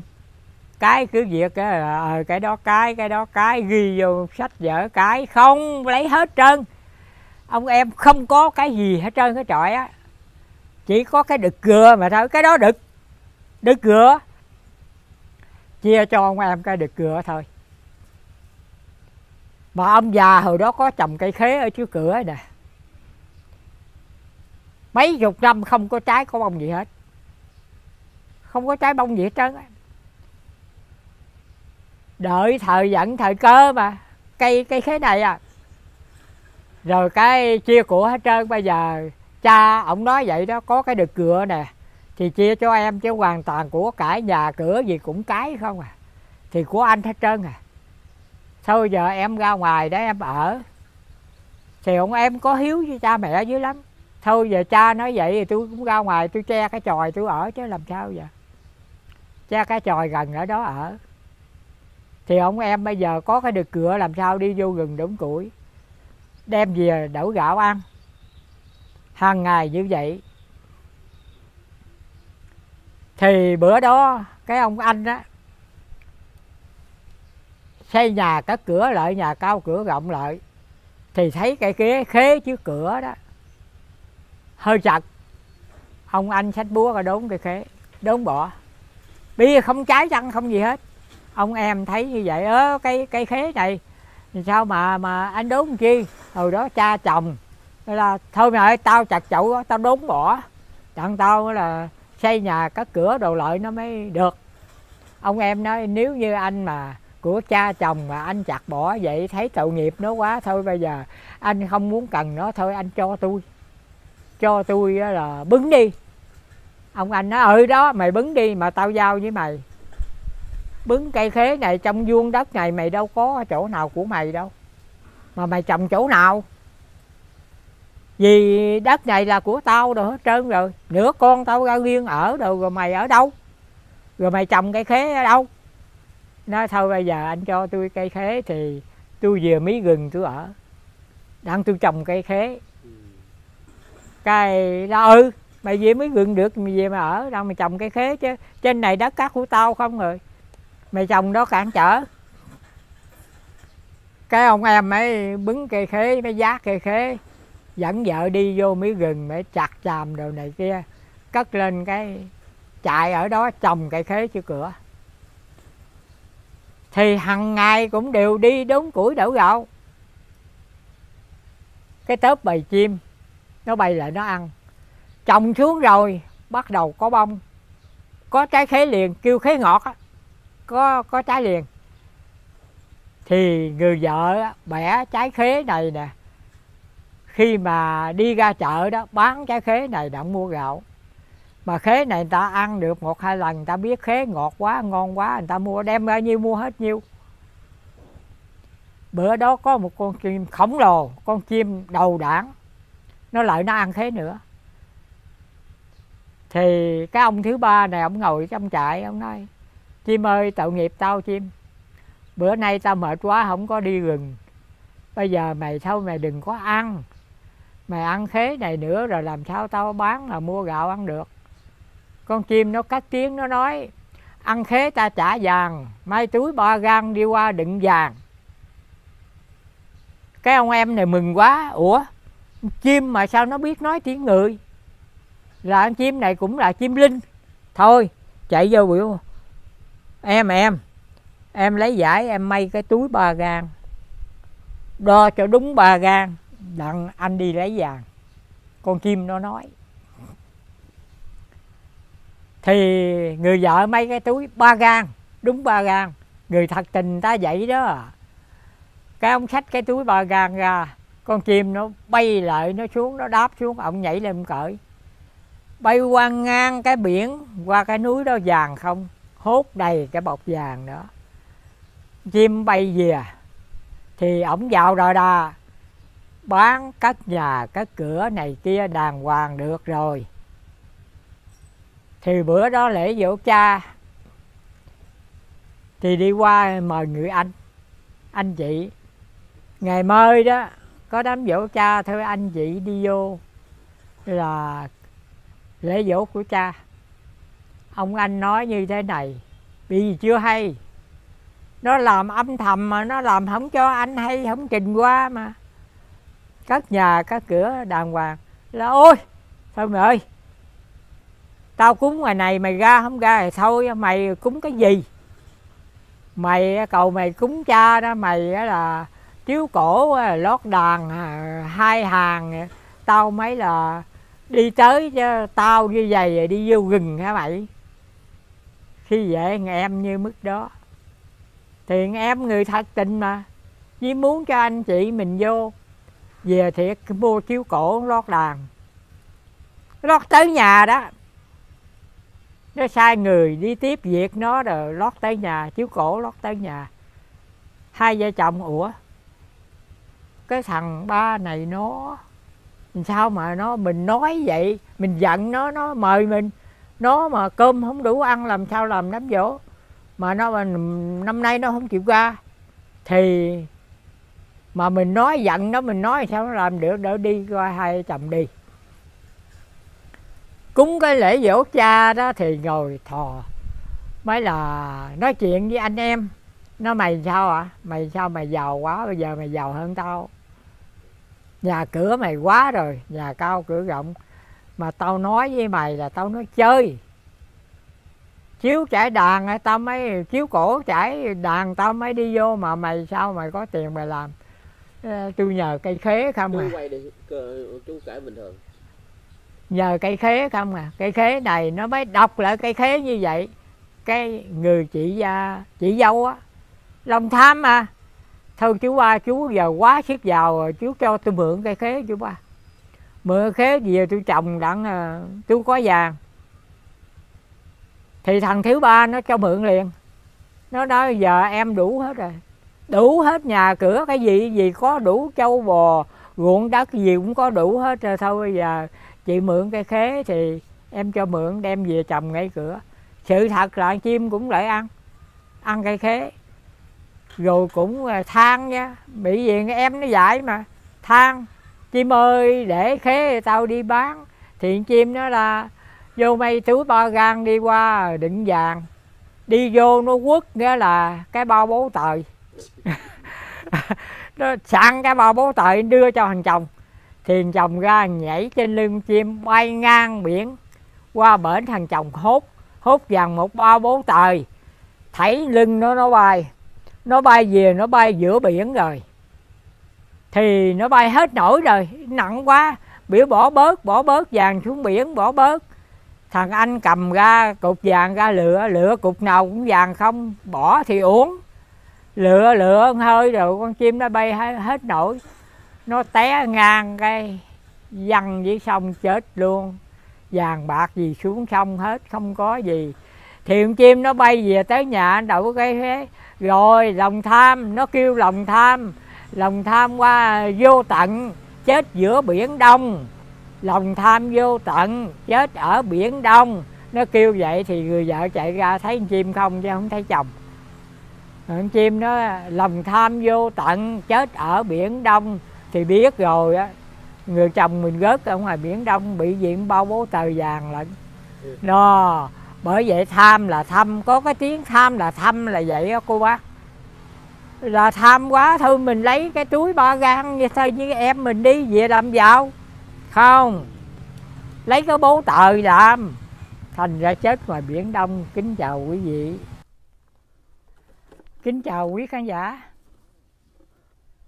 Kính thưa quý vị tôi xin kể hồi thời vua.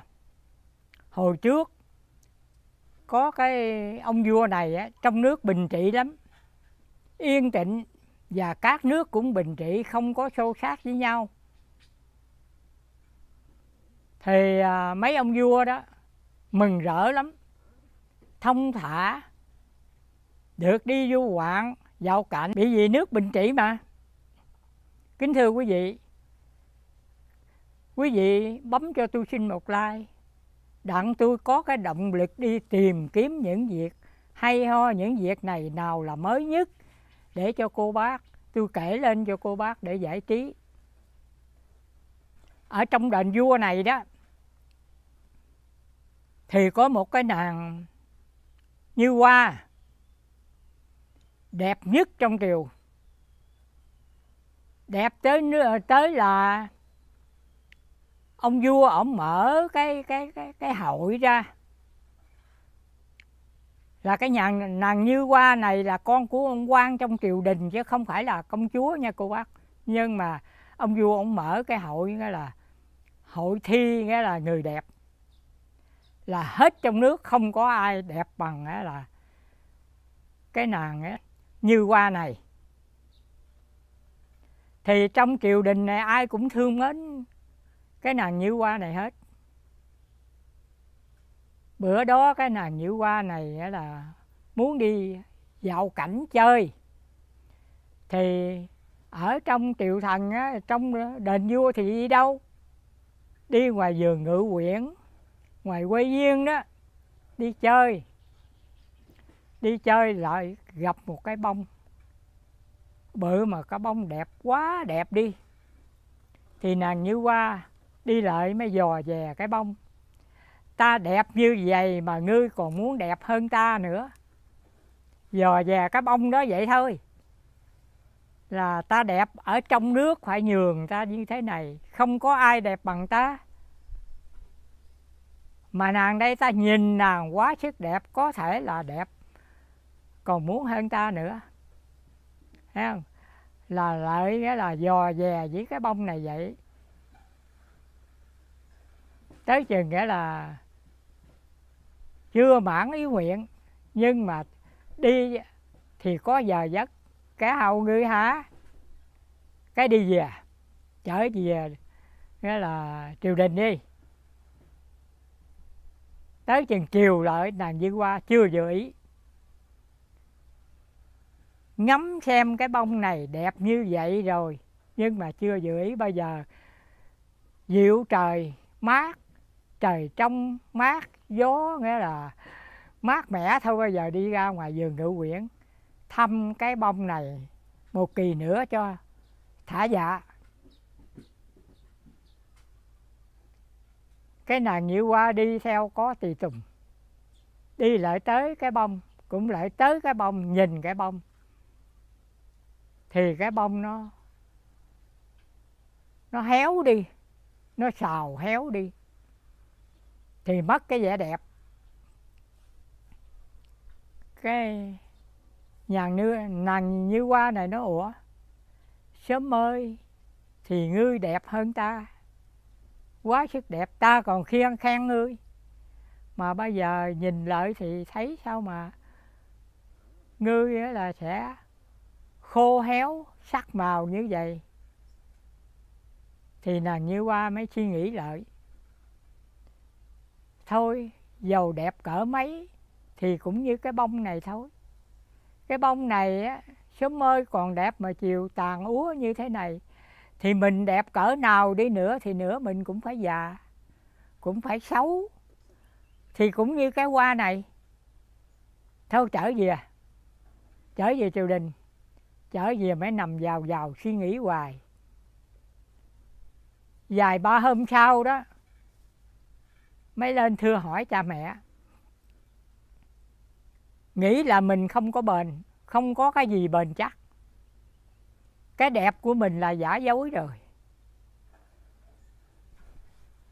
Mới lên thưa với cha mẹ, bây giờ cái đẹp của con bước ra rồi ai cũng thương mến, ai cũng tôn sùng hết trơn á. Nhưng mà cái đẹp của con này, đây là cái đẹp giả dối. Bây giờ con thưa thiệt với cha mẹ, giờ con muốn đi tu. Không có cái gì bền chắc bằng cái tu mà nó mới còn tồn tại, chứ cái gì giàu đẹp, sang giàu, cỡ mấy thì cũng giả dối thôi cái cha mẹ cưng con quá đi, thương con quá đi. Mà nói đi tìm phật mà quy y tu đó, thì cha mẹ cũng mừng. Vì nếu như tu đắc đạo được thì khỏi chết. Cha mẹ cũng mừng. Ừ thôi con muốn đi đi. Nhưng mà nàng như qua này đi đó, định đi tới phật, tìm phật đang ở tu, không cho tùy tùng theo. Đi mình nên hả cái nàng như qua này mới đi đi một đổi cũng xa rồi, lợi tới gần tới mí gừng rồi. Thấy hơi thấm mệt, mà lại là gặp cái giếng cái giếng ngoài mí gừng. Trong trẻo cái nước, trong lành tốt quá, trong gieo mấy lợi ngồi mé giếng. Rửa tay, rửa mặt, mới nhìn xuống dưới giếng đó, thấy cái hình dưới thấy hình như qua dưới, cái như qua đổi ý. Như qua nói, mình đẹp như vậy. Trên thế gian này mà mình đẹp như vậy, rồi trong nước này không có ai mà đẹp như mình được. Bởi vì vua mở ra cái hội ứng thí người đẹp thì mình vẽ nhất. Rồi mình nhìn dưới cái hình của mình ở dưới cái giếng này thì thấy môi son má phấn, tóc đen quyền dài ổng ả. Như vậy là đâu có ai đẹp bằng. Mà mình dạy gì mình đi tu. Mình đẹp như vậy mình tại sao mình đi tu rồi thành cô giải lưu ý, cái hỏng tu. Nói thôi giờ mình đẹp về mình sống về cái cái sắc đẹp của mình với trần gian. Đặng mình thả nguyện một đời mình. Chứ bây giờ là là mình đẹp vậy mà mình bỏ mình đi tu. Dầu cho mình tu cỡ nào đi nữa thì mình cũng chịu thiệt thòi. Thôi mình hưởng thụ cái theo cái, cái trần gian này đi. Trở về. Đi trở về thì đức phật ngồi đức phật xem ngó thấy. Như qua là đâu phải là cái con của cái ông quan triều đình là cái như qua này là cái gốc tiên mà tại sao như qua giờ muốn đi tu mà đổi ý? Đức phật mới giả là một nàng con gái thật đẹp hơn như qua nữa. Đi ngược chiều. Đi lại đẹp gấp bằng trăm lần của như qua như qua gặp người đẹp quá. Cái như qua mới hỏi hỏi vậy chứ chị đi đâu đây? Mà một mình, đi không có ai hết trơn như vậy. Thì cái người đẹp này đó, mới nói, tôi đi cũng có chuyện, nhưng mà tôi đi một thân một người.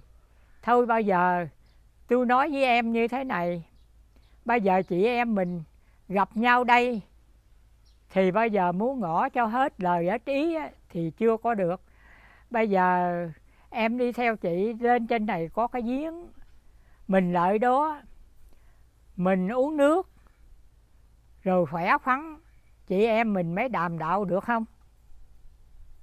Như qua đồng ý. Thấy người đẹp quá, đẹp hơn mình nữa, mình đẹp vậy. Cả nước nghĩa là thua mình mà người đẹp hơn mình nữa. Vừa ý, thôi được. Tôi đồng ý đi với chị. Cái hai chị em nắm tay đi. Đi lại tới cái cái giếng của nàng như hoa ngồi hồi nãy đó. Rồi cái người đẹp này á, mới nói thôi, bây giờ mình ngồi đây nghỉ. Xuống rửa tay, rửa mặt chút, lên nghỉ chút, rồi mình hãy đi nữa. Rửa tay, rửa mặt lên, thì hai chị em trò chuyện. Thì cái chị đẹp, thật đẹp này nói hoàn toàn là nói pháp không? Nói pháp của đức phật không? Gợi lòng nghĩa là như hoa rồi cái thấy gợi lòng như hoa không thấm vào đâu. Như qua cứ mộng đi trở về triều đình đang hưởng thụ cái đẹp của mình à. Thì cái người đẹp này đó, nói bây giờ tôi nói chuyện, trò chuyện với em nãy giờ sao? Tôi muốn nằm quá, em đưa cái bắp ờ, chân ra, cho chị kê đầu nằm nghỉ một chút như Hoa đồng ý đưa chân ra thì cái người đẹp nằm ở trên bắp dế của như Hoa. Nằm đó về nằm về nói chuyện. Nói chuyện chút cái phát đèn ngủ đi. Như Hoa thấy chị mình mà ngủ bởi vậy đẹp á, thì bao nhiêu người cũng chiều chuộng hết trơn cái gì cũng chiều chuộng hết á cô bác. Trên đời nó vậy. Thì sao dòm lại thấy chị mình ngủ đi thì không dám nhúc nhích. Thôi để êm cho chị mình ngủ một giấc. Đặng khỏe khoắn thức dậy đi với mình. Thì như qua phát ngồi hơi mỏi lưng thôi nằm xuống. Nằm xuống cũng kế mà để cái bắp chân đó. Cho cái người đẹp nữa là gối đầu. Thì ngủ quên giấc. Ngủ quên một giấc rồi đó. Thì như qua giật mình thức dậy thì nhìn lại người chị đẹp này đó, là sao chết rồi? Mới chết mà sao có bụng bình sình lên? Tay chân thì gã rời ra. Cái mùi suối hôi trong mình tuôn ra. Hàm răng đều rớt hết. Cặp mắt đã mất đi, không còn phải mắt bồ hâu nữa. Như qua hết hồn rồi, hết hồn, hết vía rồi sợ quán kinh rồi. Người mới chết mà sao như vậy? Như qua mới tháo cái giò ra chạy. Chạy đi lại tới kia mệt quá, mới ngồi cái gốc gừng dưới cái gốc cây đại thọ. Thì ngồi gốc cây đại thọ mới suy nghĩ lại. Phải rồi, cuộc đời này là hoàn toàn cái gì cũng là giả dối thân mình cũng giả dối đó, mình chết rồi, người đẹp hơn mình mà chết rồi, giờ vậy đó. Rồi rằng nó lợi nó bu, nó đốt rút rỉa. Rồi sinh ra, không còn là con người nữa, là giả dối. Thôi, bây giờ mình nghĩ mình giàu đẹp đẹp hơn mình mà còn như vậy, mình nữa y vậy đó. Thôi giờ tìm tới phật. Vậy mới có vững lòng tin phật, đi lại tới phật. Đi gần tới phật thì thấy phật đằng kia kìa. Thì như qua đằng này cung kính phật là lại phật, mà nằm trường bò cúi đầu sát đất lại, kính phật, bạch với phật, cho con quy với phật, nhờ phật dạy con để học hành theo. Đó, rồi đức phật mới thiết pháp cho một hai lời pháp rồi. Như qua mới thấm được, như qua đồng ý là đầu phật quy với phật, thì đức phật thiết pháp rồi. Như qua tóc tự nhiên phải gụng đồ như qua bận đồ ở triều đình đó tự nhiên quá ra là đồ cô giải rồi đi theo phật, mà phật dạy cho thiết pháp cho, nghe biết, dạy cho, học giữ giới của phật. Như qua giữ giới được một thời gian là như qua đắc quả. Được nghĩa là là là chứng quả của phật là được lá hán đó cô bác. Bởi con người mình, giàu đẹp, giàu sang, bực mấy chết rồi, thì cũng xình cũng thúi, cái thay cũng không ra gì, ai không dám dòm cũng bỏ chạy thôi. Thì hoàn toàn trên cuộc đời này cái gì cũng giả dối của bác. Có cái tu học Phật mà tu nhân mình gán tu cái thân mình thì tất nhiên không còn chết và không có giả cái thân thiệt. Kính chào quý vị. Kính chào quý khán giả. Kính thưa quý vị. Bây giờ tôi xin kể cái thời tiết ở trong miền tây đi. Ở trong miền tây này nó khác lạ hơn hồi xưa rồi. Bởi vậy người xưa có nói là trời giông gió sái mùa sái tiết đó, nắng cùng mưa cũng khác xưa rồi là bây giờ tôi mới hiểu rõ lại.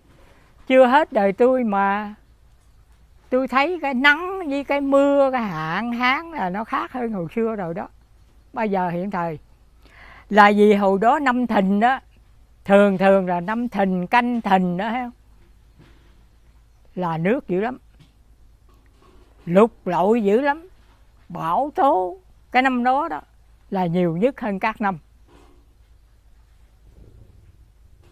Thưa quý vị là hồi cái năm 2000 đó cũng là năm thịnh. Ở miền Tây này nó chịu chịu là như châu đốc là đầu nguồn đó. Nước ngập chợ cô bác. Chợ châu đốc nó ngập đó. Ngập dài dài xuống châu đốc nước ngập khắp nơi ở cái miền Tây này là cái năm 2000 chỗ đơ, châu đốc đó chỗ bộ đề đó, đạo tràng, miếu bà chú xứ cũng ngập. Thưa quý vị, là mấy chỗ đó, miễu xá này kia, chùa ta cất cũng có nền rồi lên mà vẫn ngập bình thường. Cái năm 2000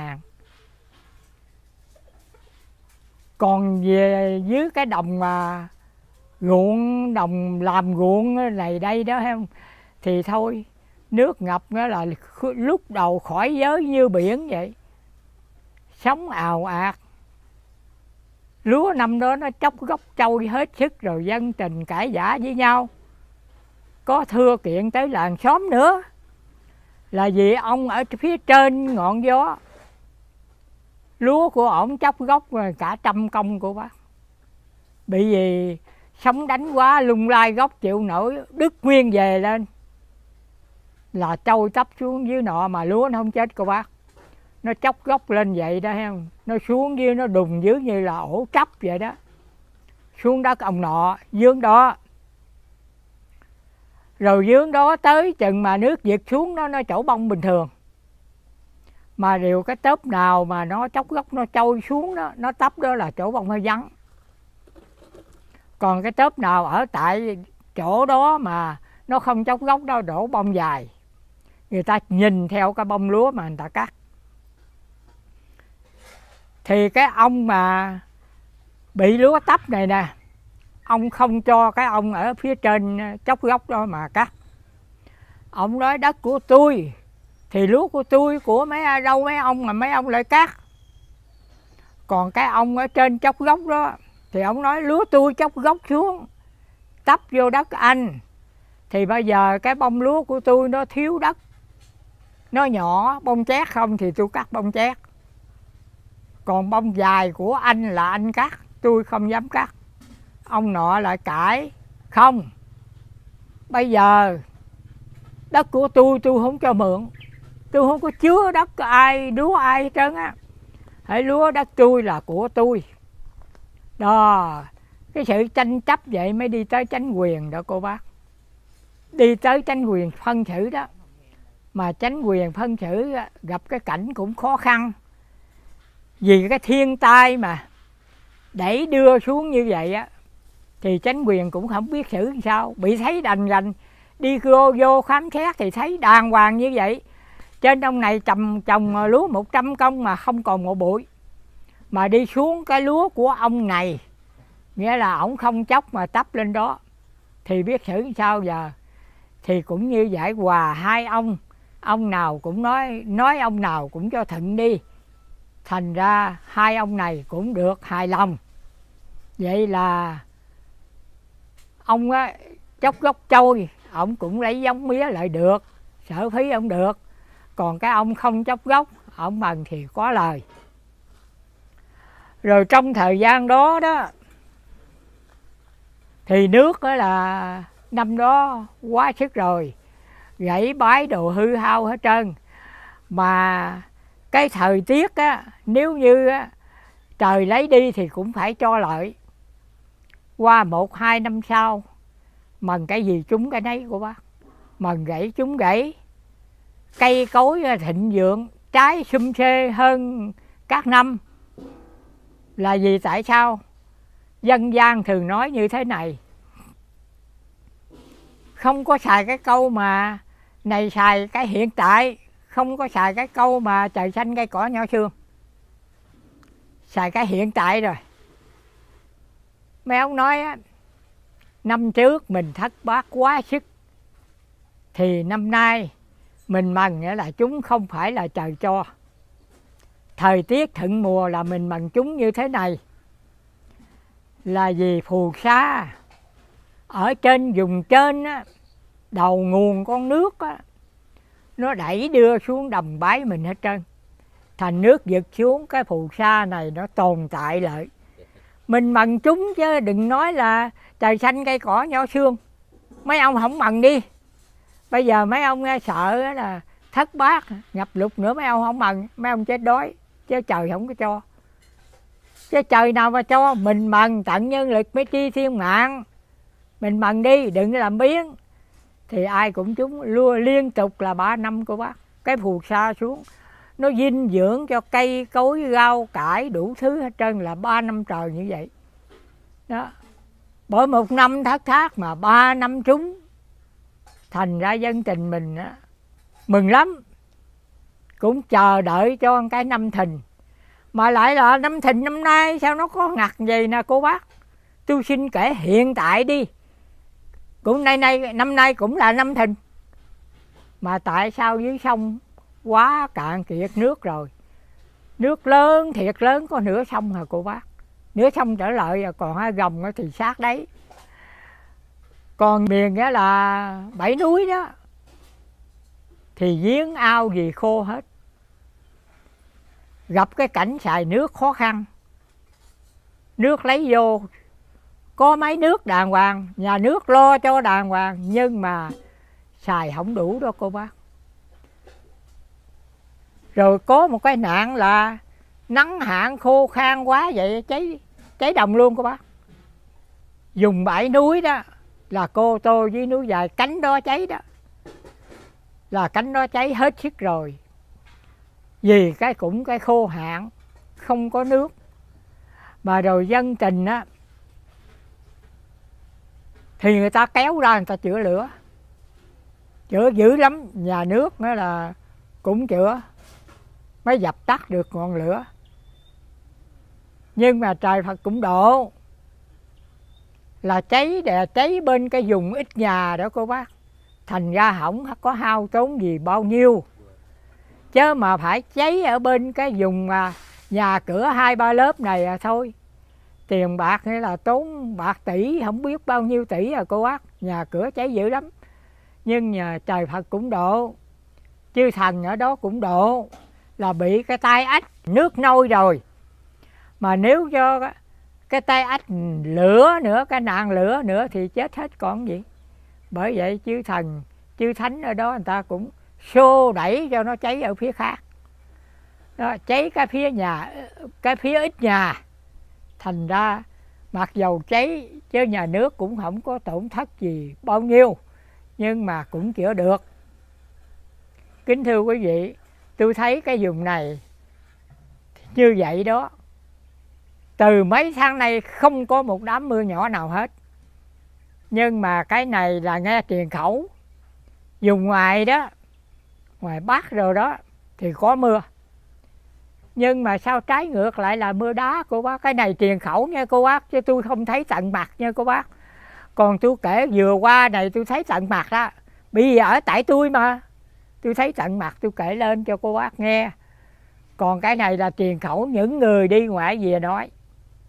Là ở ngoài miền Bắc, là có mưa đá, cô bác. Mưa lớn, nhưng mà mưa đá. Mưa dầm về mưa đá vậy đó, thì tôi thấy cái thời tiết nghĩa là nó khác hơn hồi xưa.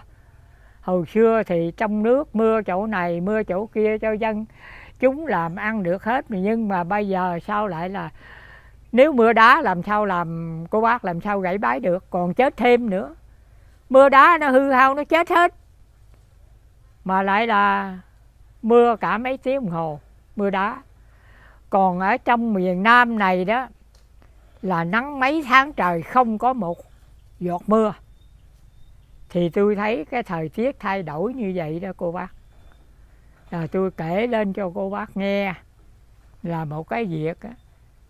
trời đất bây giờ, nếu như cái vùng nào mà ông muốn cho mưa mưa, còn vùng nào ổng cho nắng là nắng cháy luôn kính thưa cô bác là đây là vùng miền tây này ở vùng bảy núi đó cái bằng nắng cháy đó là cháy rừng cháy đồng.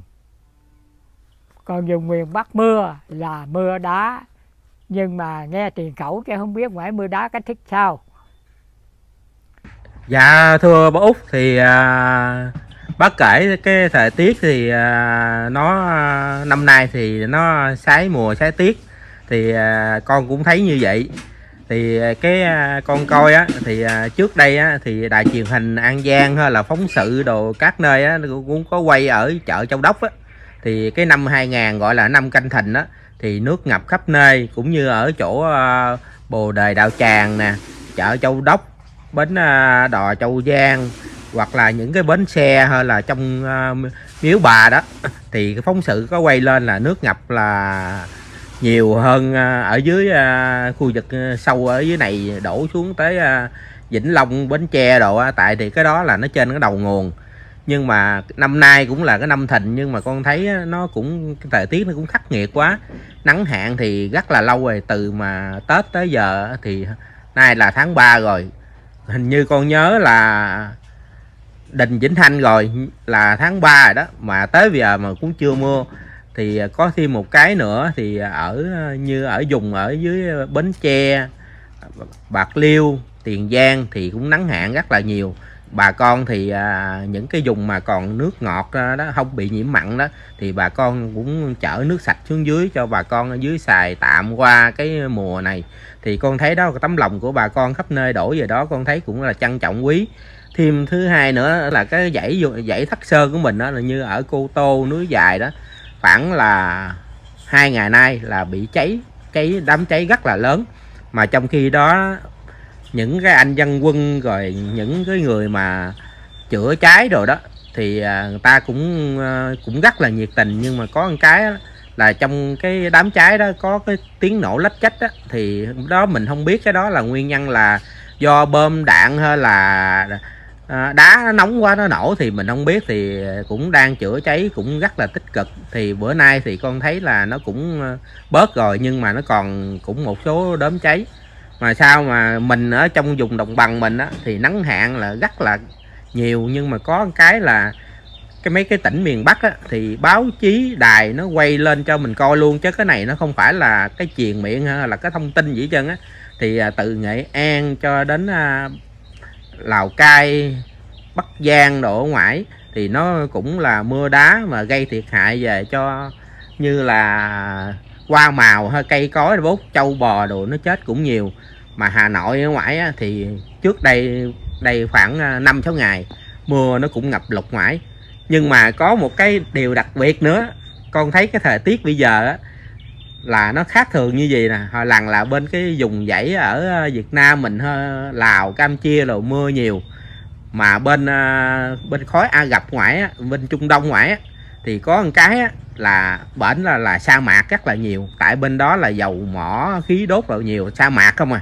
Nhưng mà tự nhiên á con coi trên đài trên báo chí nói chung là con tham khảo uh, tin tức rồi đó thì cái a gặp đó là nó ngập bão lũ rất là nhiều. Mà cái bên đó hồi nào giờ đó là một năm nó, mưa nó chưa bằng cái lượng mưa lớn của hai ngày ở tại Việt Nam nữa. Nhưng mà không biết năm nay sao mà cái lượng mưa ở ngoài A gặp ngoài đó là nó ngập, nó tràn nhà cửa cây cối rồi nó trôi coi như là ngập hết đường xá cho múc thì cái thời tiết năm nay con thấy sao mà nó quá khắc nghiệt đối với cái uh, người dân khắp nơi trên thế giới. Con cũng uh, mong rằng uh, vài bữa tới đây thì uh, thời tiết sẽ thuận lợi lại.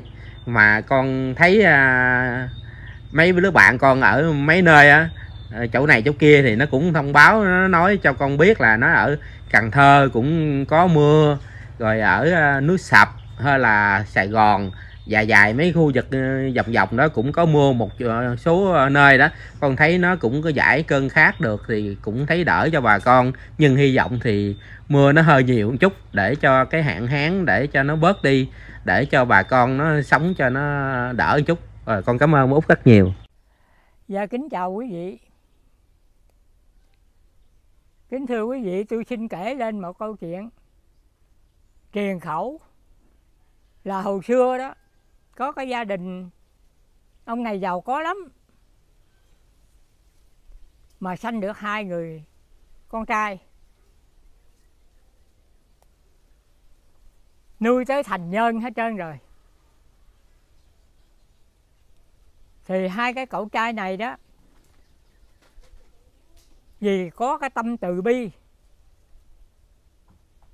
ổng thì giàu có nhưng mà hai cậu này thành nhân rồi đó, hai cậu này cứ đi chơi với bè bạn đồ thì bố thí. Gặp ai nghèo đói thì cho này kia, cho bố thí vậy. Mà hồi nhỏ chơi mà tới vậy tới lớn lên rồi, hai anh em mới suy nghĩ. Cha mình là dương ngoại, giàu có tục bực mà bây giờ mình là là tim nhỏ thôi hoài lỡ núi non mà. Mình không có mận gì hết trơn á cha mình không cho mà ăn đi chơi không mà mình bố thí vậy nữa rồi. Của cả cha mình hết làm sao. Thôi giờ anh em mình đi tu. Chứ ở nhà thì cái lòng bác ái của mình thấy người ta khổ mình chịu không nổi. Mình phải giúp mà. Thì giúp hết hết của cha mình rồi sao cha mình sống. Thôi mình đi tu. Thưa quý vị, hồi xưa tu không phải là muốn đi tu là đi đâu nha đi tu đó, hai anh em mới lại. Giái bàn cũ quyền lại, trình diện đàng hoàng. Ra khoanh tay hỏi cha mẹ, bây giờ con muốn đi tu, đi xuất gia tu hành?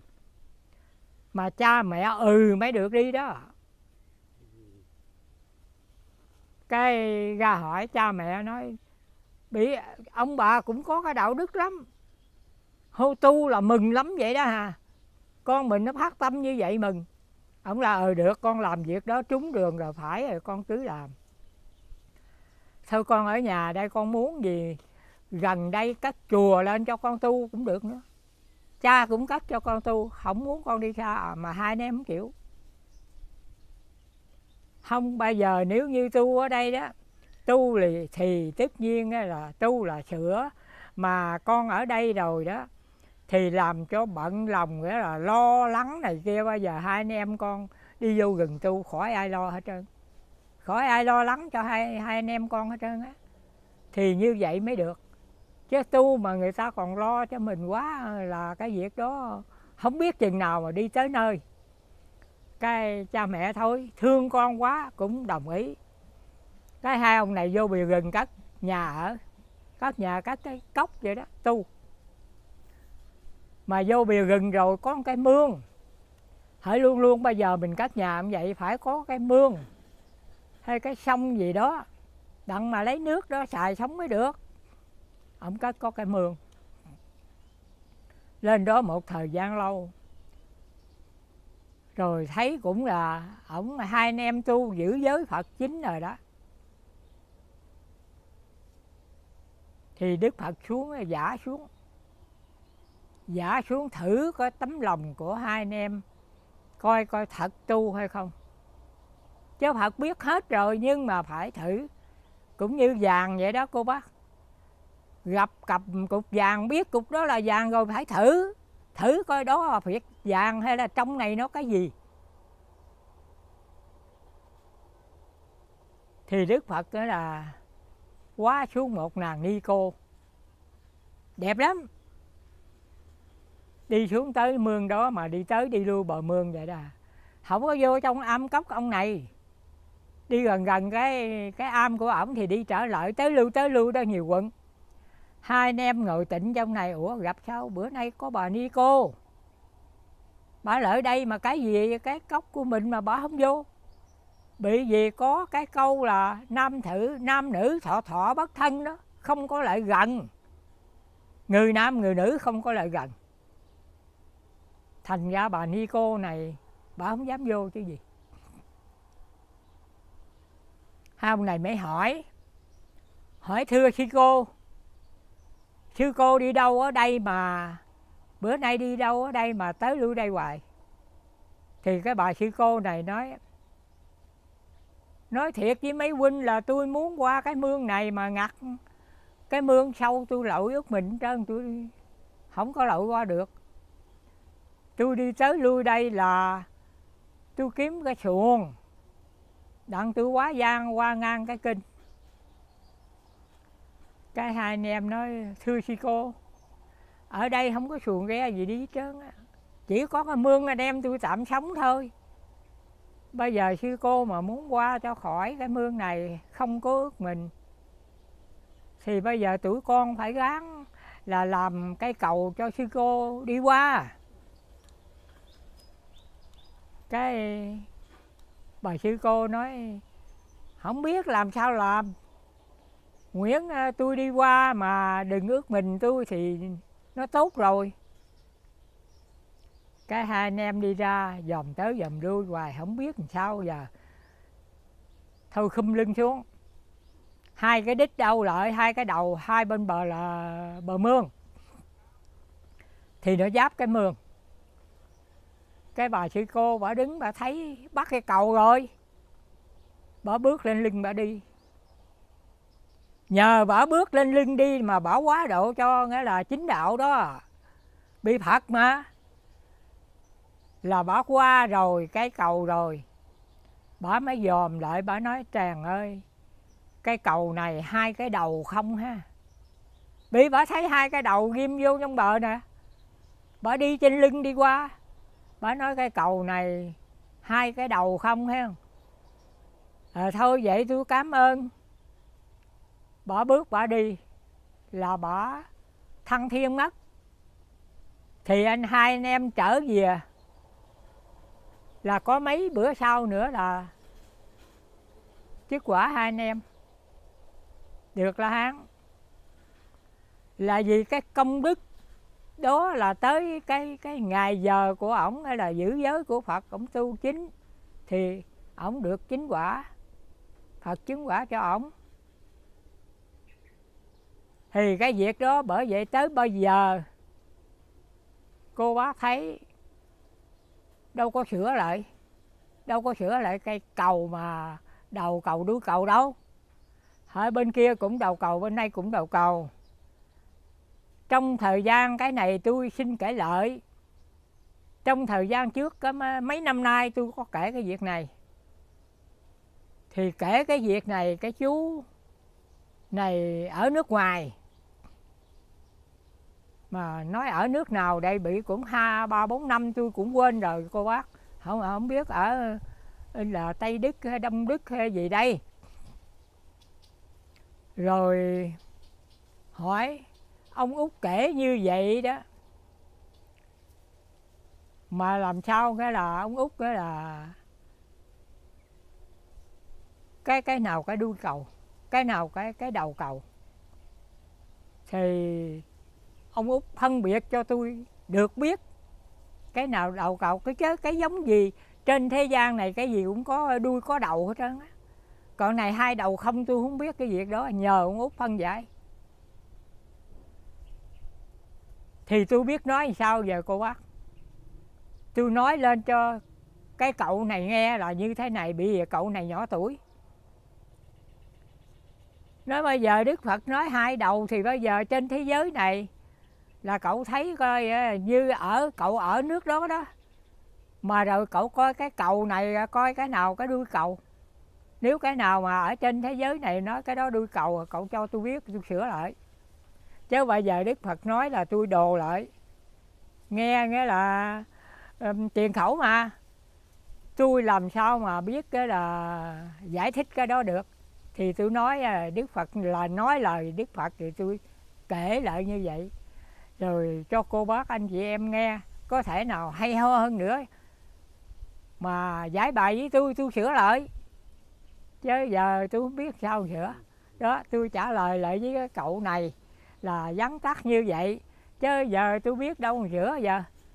Rồi ở đâu cũng kêu là đầu cầu không tôi biết sao sửa kính thưa quý vị là vì cái việc á, đầu cầu đuôi cầu này đó là ngàn năm vĩnh viễn rồi.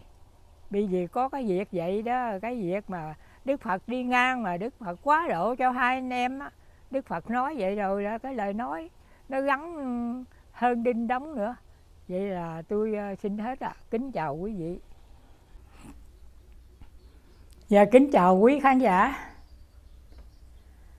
Kính thưa quý khán giả. Giờ tôi xin kể lên một cái chuyện ờ, xa xưa.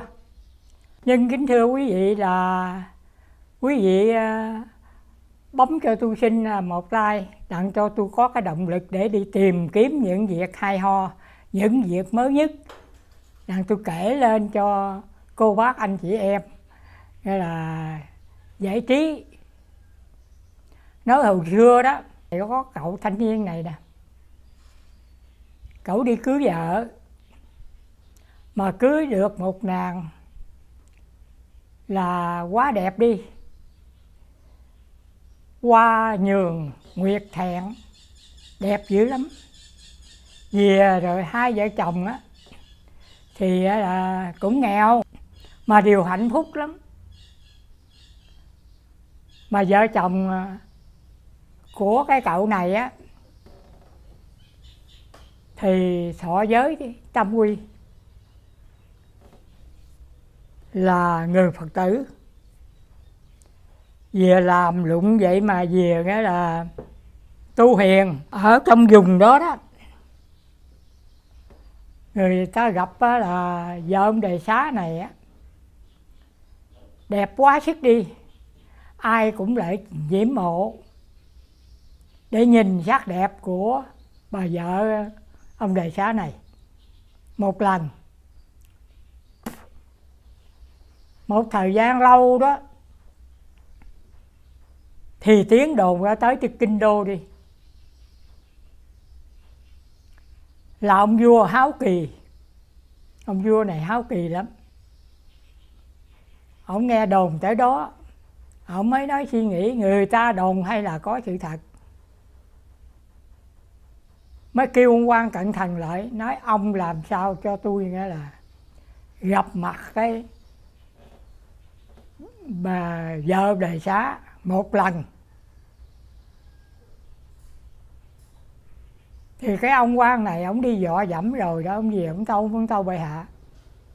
Vợ chồng đại xá này á, là người phật tử, tu hiền. Mà nếu ví dụ như ờ, vua mà muốn gặp mặt vợ đại xá đó, thì phải giả dạng lên một ông thầy đi khắc thực thì lại tới đó vợ đầy xá. Bưng ra cúng giường thì vua gặp mặt. Bị gì vợ đầy xá, nghĩa là đẹp kêu bằng hoa nhường nguyệt thẹn, cá lặn chim xa thành ra, nghĩa là bao nhiêu người ở trong vùng lại nghĩa là nhìn ngắm bữa nào, nhìn ngắm hoài thành ra vợ đời xá ít có đi ngoài. Mần công chuyện ở trong nhà lục đục vậy là nhiều hơn, chứ ít đi ngoài. Thì ông vua ông theo kế thi hành. Ông giả một ông sa môn đi khắc thực.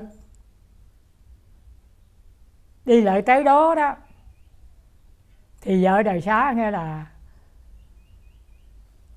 bưng cơm ra, cho cái ông đó là sa môn này. Thì ông vua ông nhìn thấy, ông nói, thôi, tiếng đồn không sai. trong vùng này tiếng đồn vậy là không sai. Rồi cái ông trở về à? ông trở về, ông ấy kêu quan cận thần. Bây giờ tôi nói với ông, làm sao, ông làm sao mà cho vợ đời xá tiến vào cung nội là cho tôi gặp mặt hàng ngày? Chớ đi gặp một lần vậy không được. Là cái tánh hiếu kỳ của ông vua này, ông chưa có dừng lại. Ông muốn gặp nghĩa là mặt người đẹp, mỗi ngày vậy đó. Thì ông quan cận thần này, ông mới suy nghĩ. Về suy nghĩ hai ba ngày đêm. Ông trở lại muôn tâu thánh thượng. Bây giờ, nếu thánh thượng mà muốn gặp mặt hàng ngày đó, có một cách làm như thế này mới được. Bây giờ cách ở đây một ngàn dặm. Có một cái hồ sen lớn lắm, mà sen năm màu. Về đẹp mà về thơm lắm. Mà chung quanh đó có ba lợi quỷ. Nó canh gác cẩn thận cái hào sen này. Nếu như mà ai lợi đó nó cũng hãm hại chết hết, giết bỏ cho nó không có để. Thì bây giờ bệ hạ, ra lệnh cho đề xá, phải đi hái sen đó về cho bệ hạ thì đề xá đi lại tới đó cái loài yêu tinh ma quỷ này nó giết chết. Rồi từ đó tới sau mặt tình bệ hạ. Là thâu nạp của vợ đề xá vô làm tiến cung. Thì hàng ngày thấy mặt. Chứ ông quan cận thành này ông ra cái cái kế thiệt quá độc cái ông vô ông lật đặt ông chiếu chỉ xuống liền. Biểu đề xá phải đi lại tới cái uh, giếng đó đó hái sen năm màu. Đem về cho ổng. Thì chiếu chỉ chạy xuống tới là vợ chồng đề xá rồi á. Thì vợ chồng đề xá hốt quản đi. Vợ đề xá mới than thôi định vua xuống như vậy thì thế nào anh cũng phải chết. Là vì anh chết đây á, cũng do nơi sắc đẹp của em. Thì anh mới chết anh ở nhà cũng chết mà bây giờ anh đi lại đó cũng chết. Thôi mình là người phật tử. Cái việc chết sống á, mình không nghĩ tới. Nhưng mà tôi hứa với anh anh cứ việc anh đi anh nghĩa là trầm tĩnh. Mình là người tu hiền rồi anh thiền định từ đây lại tới đó, ma quỷ nó thấy mình chắc có lẽ nó cũng không giết được. Còn nếu anh mà một mai anh có chết rồi đó, thì em ở đây nghĩa là xuất gia đầu phật, đi tu để giữ tròn danh giá.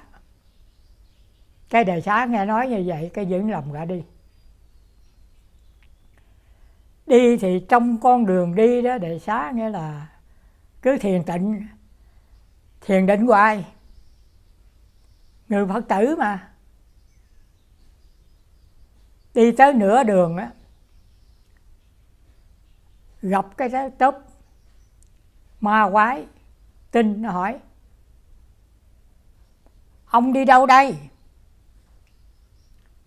Tại sao ông dám đi đường này?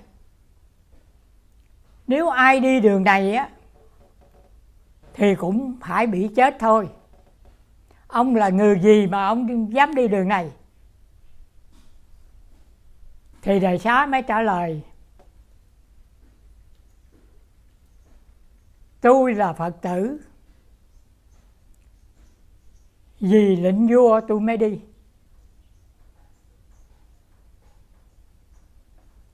Cái tụi ma nó trả lời nó nói, ông phải biết con đường này và lên hái sen này. Là thánh thượng muốn cho ai chết rồi đó, thì phải sai lên hái sen. Sen năm màu, mà hãy lên tới đây là chết à. Lên tới đây anh em tôi không có tha, anh em tôi giết à. Còn bây giờ ông là người phật tử ông đâu có tự tình gì đâu mà vua sai ông lên này. Mà hái sen năm màu. Thì ý của vua muốn người nào chết là sai lên đây. Thôi, như vậy để để tôi giúp ông. Giúp ông một chuyện là hoàn thành nhiệm vụ. Điều thứ hai nữa là cho vợ chồng được là êm ấm hạnh phúc. Ông ngồi đây ông đợi nghe. Tôi đi lên trển tôi hái sen cho ông. Bẻ sen giúp dùng ông. Về đặng ông làm hoàn thành nhiệm vụ. Cái đầy xá mừng quá, ngồi đó thiền định. Thì trong lúc đó, tụi ma quỷ này nó lên trên cái sen đó nó hái nó hái sen nhiều quá đi. Đem tới đề xá rồi đó. Thì đề xá ôm không có hết. Thì cái tụi ma quỷ này nếu nhiều quá, ông ôm không có hết đó tôi giúp ông. Tôi ôm sen này tới ra là triều đình. Cái ma quỷ nó ôm tiếp. Tới triều đình rồi á, đi vô tâu với cái là hòa thượng rồi đó. Ông vua ông giật mình. Ông nói từ nào giờ mình sai người nào lên đó là bạc tích à. Sai người nào cũng chết hết. Mà tại sao đại xá không chết? Mà lại là tụi ma quỷ nó còn giúp cho đời xá nữa. Cái ông vua ông thấy như vậy rồi, cái ông trực hồi nhớ lại ông hồi tỉnh lại ông bớt cái tánh hiếu kỳ của ông mà ông suy nghĩ. Nếu mình là bậc vua chúa rồi, mà mình làm cái việc bất công này đó, là không bằng ma quỷ nữa. Ma quỷ mà nó thấy người tu hiền nó còn nghĩa là giúp đỡ, nó không giết còn mình làm vua, cai trị cả nước, nhiều quốc dân khác.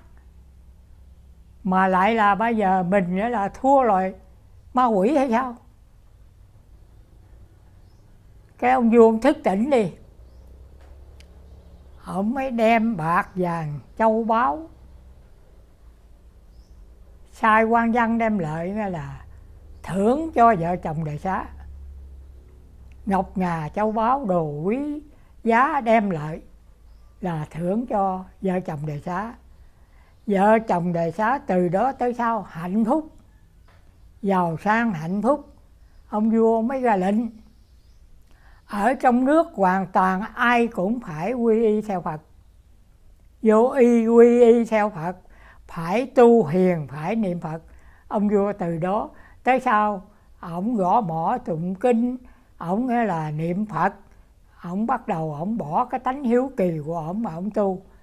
Thì thành ra quốc thới dân an.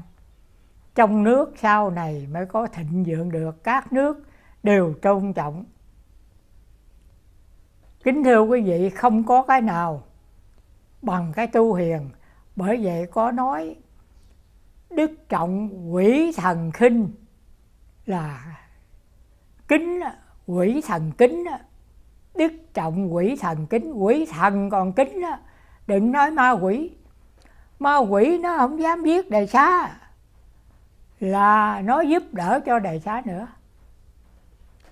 Kính chào quý vị, và kính chào quý vị. Kính thưa quý khán giả, bây giờ thôi tôi kể cái chuyện à, lực nhân quả thôi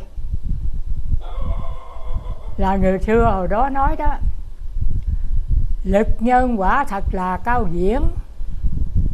Suốt cổ kim chẳng lọt một ai. Mà theo như tôi suy nghĩ là có rồi, bây giờ tôi kể lên một cái chuyện nhân quả.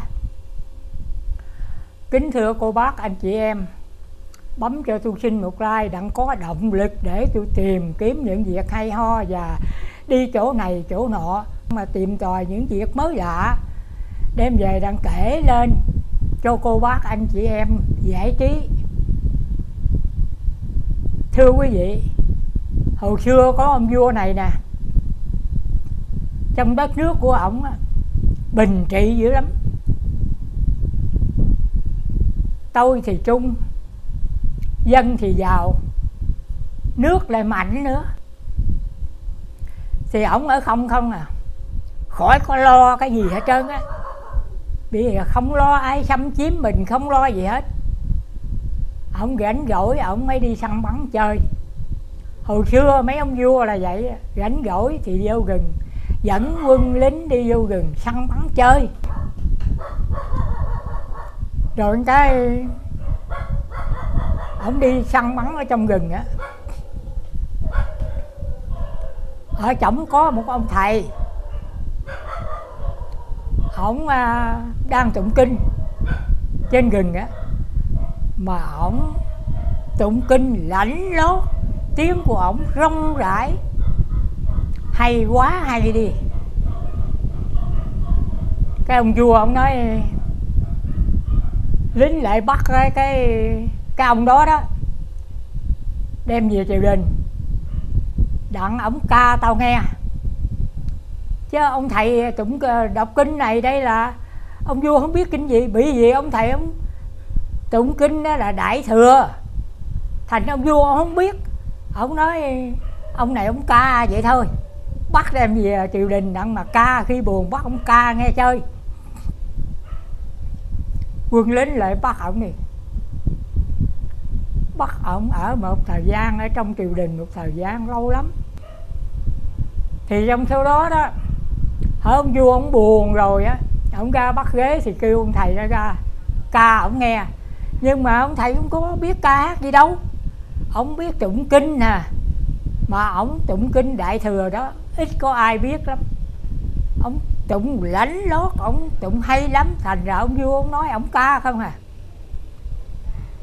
Một thời gian lâu lắm rồi, cái nước cận kề á, có cái ông thương buôn này à ông ấy đem vàng, bạc, ngọc ngà, châu báu đi qua tặng cho ông vua này.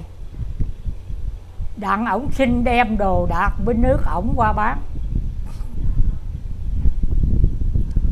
Cái hỏi ông vua mà hỏi có yến tiệc hay có khách khứa hay gì là bắt ông thầy chùa này ra ca mà ông tụng kinh vậy đó, lãnh lót.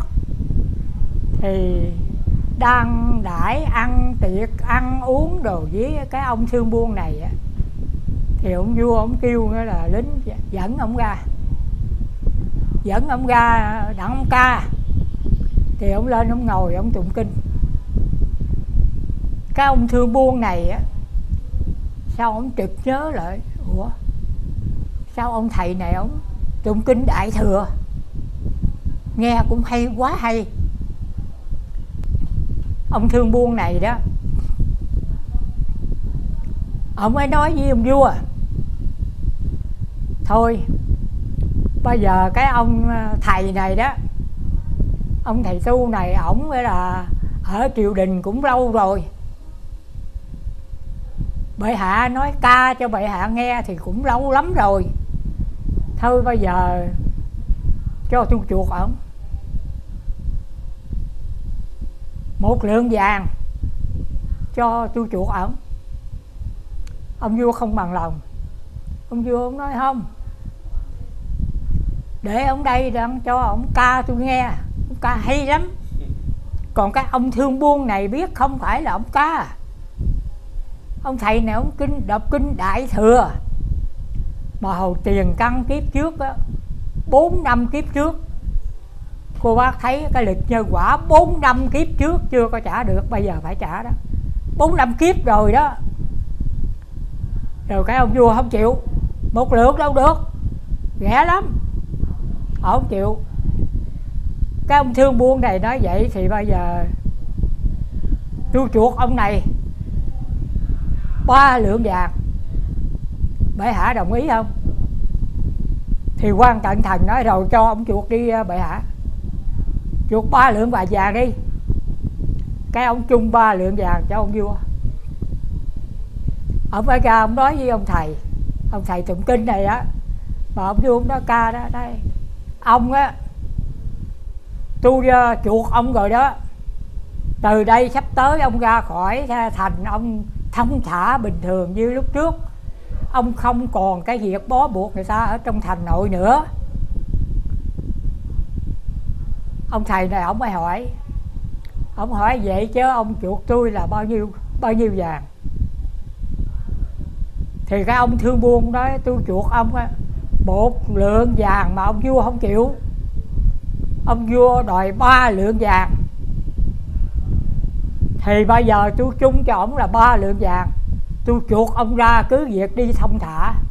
Ông là người tu. Tôi biết ông người tu ông tụng kinh đây là kinh đại thừa, không ai nghe hết. Nghe mà không biết. Trong triều thần này không có ông quan văn võ nào biết. Ông tụng kinh này hết, chỉ có tôi biết mà thôi. Cái ông thầy này đó, ông dùng cái thần thông. Ông bay lên nửa lưng đứng chở đó. Ông nói, ông á, cái đó là ông chuột ông chứ không phải là chuột tôi ông chuột ông. Hồi tiền căn kiếp trước, năm sáu đời trước đó, là ông vua này đi bắt rau cải. Ông là người mua. Rồi ông còn thiếu có ba tiền nữa à. Ông không bán. Tôi ra tôi nhận lãnh. Tôi ra rồi ông bán đi. Nếu ví dụ như là cái ông này á, ông không trả, tôi trả cho ông ba tiền trong bố, năm, sáu đời trước đó, kiếp trước đó, tôi có lãnh ông ba tiền. Rồi một thời gian sau, lạng lạng một người một nơi hết. Mà đợi tới, tôi đợi ông tới là năm, sáu kiếp tôi nè. Đặng ông trả nợ cho ông vua rồi tôi mới được thông thả. Là vì tôi lãnh nợ, tôi mắc nợ bởi vậy ông vua đi săn bắn bắt tôi về tôi tụng kinh đại thừa mà ông vua ông không biết. Ông nói tôi ca không à? Rồi có đám tiệc hay là có gì, ông kêu tôi ra ca. Là vì ổng, tôi thì lãnh nợ. Ông ờ, thiếu ổng mà tôi lãnh, tất nhiên ổng bắt tôi.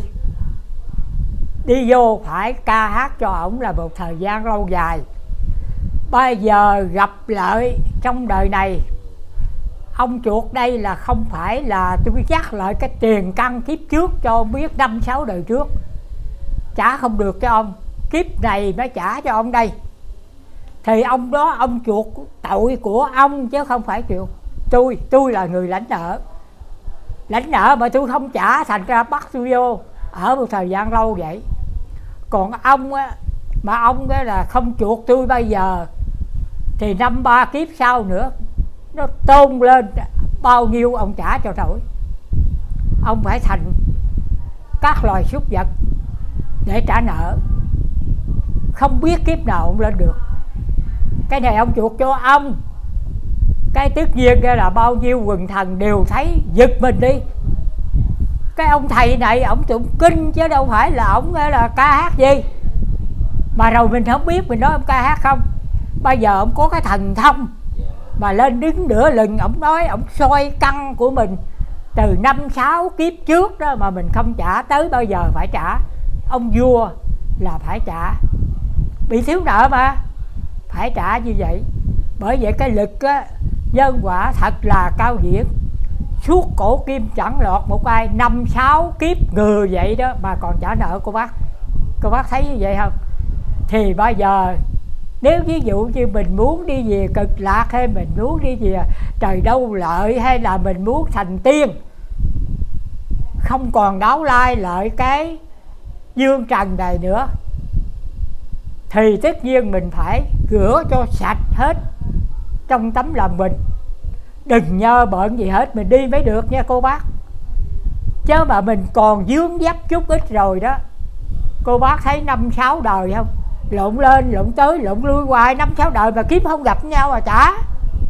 Tới đời làm vua đó, mà kiếm cũng không gặp ông này mà trả. Mà biết đâu mà trả. Lên xuống lên xuống riết rồi nó ngu lú quá rồi. Nhờ ông thầy này nè. Ông sa môn này nè, ổng ổng đắc đạo rồi. Nhưng mà ổng thiếu nợ, ổng chưa được về cảnh tây phương ông ở lại đã ông trả ba đồng tiền này mà lời ra ba lượng bạc, ba ba ba lượng vàng. Đó, ông trả rồi là ông thăng thiên liền, ông lên trời liền. Cô bác thấy như vậy thì bây giờ mình ở cái hạ giới này đó, cái cõi ta bà này thiệt, ta bà khổ, ta bà lắm khổ. Đây là lắm khổ là nhiều nhiều cái khổ dữ lắm đó giờ mình muốn thoát khỏi cái ta bà khổ này đó. Đừng cho dướng dấp. Có ba đồng tiền mà năm, sáu kiếp người vậy đó trở lại trả. Thì tôi nói tôi nói thì trí hiển tài sơ. Tôi nói ít lắm. Không có câu văn gì trôi chảy để nói cho thấu đáo. Thì nhờ cô bác anh chị em nghe nói đó, anh chị em hiểu nhiều hơn tôi thì anh chị em thấy cái mình muốn về cảnh cực lạc hay gì à? thành tiên hay trời đâu lợi gì đó. Thì mình gá rửa nha cô bác. Gá ngửa anh chị em nào gá ngửa tấm lòng mình cho sạch sẽ. Thì mình đi gọt lành, bước bước một tới liền. Chứ không có gì hết trơn á. Kính chào cô bác.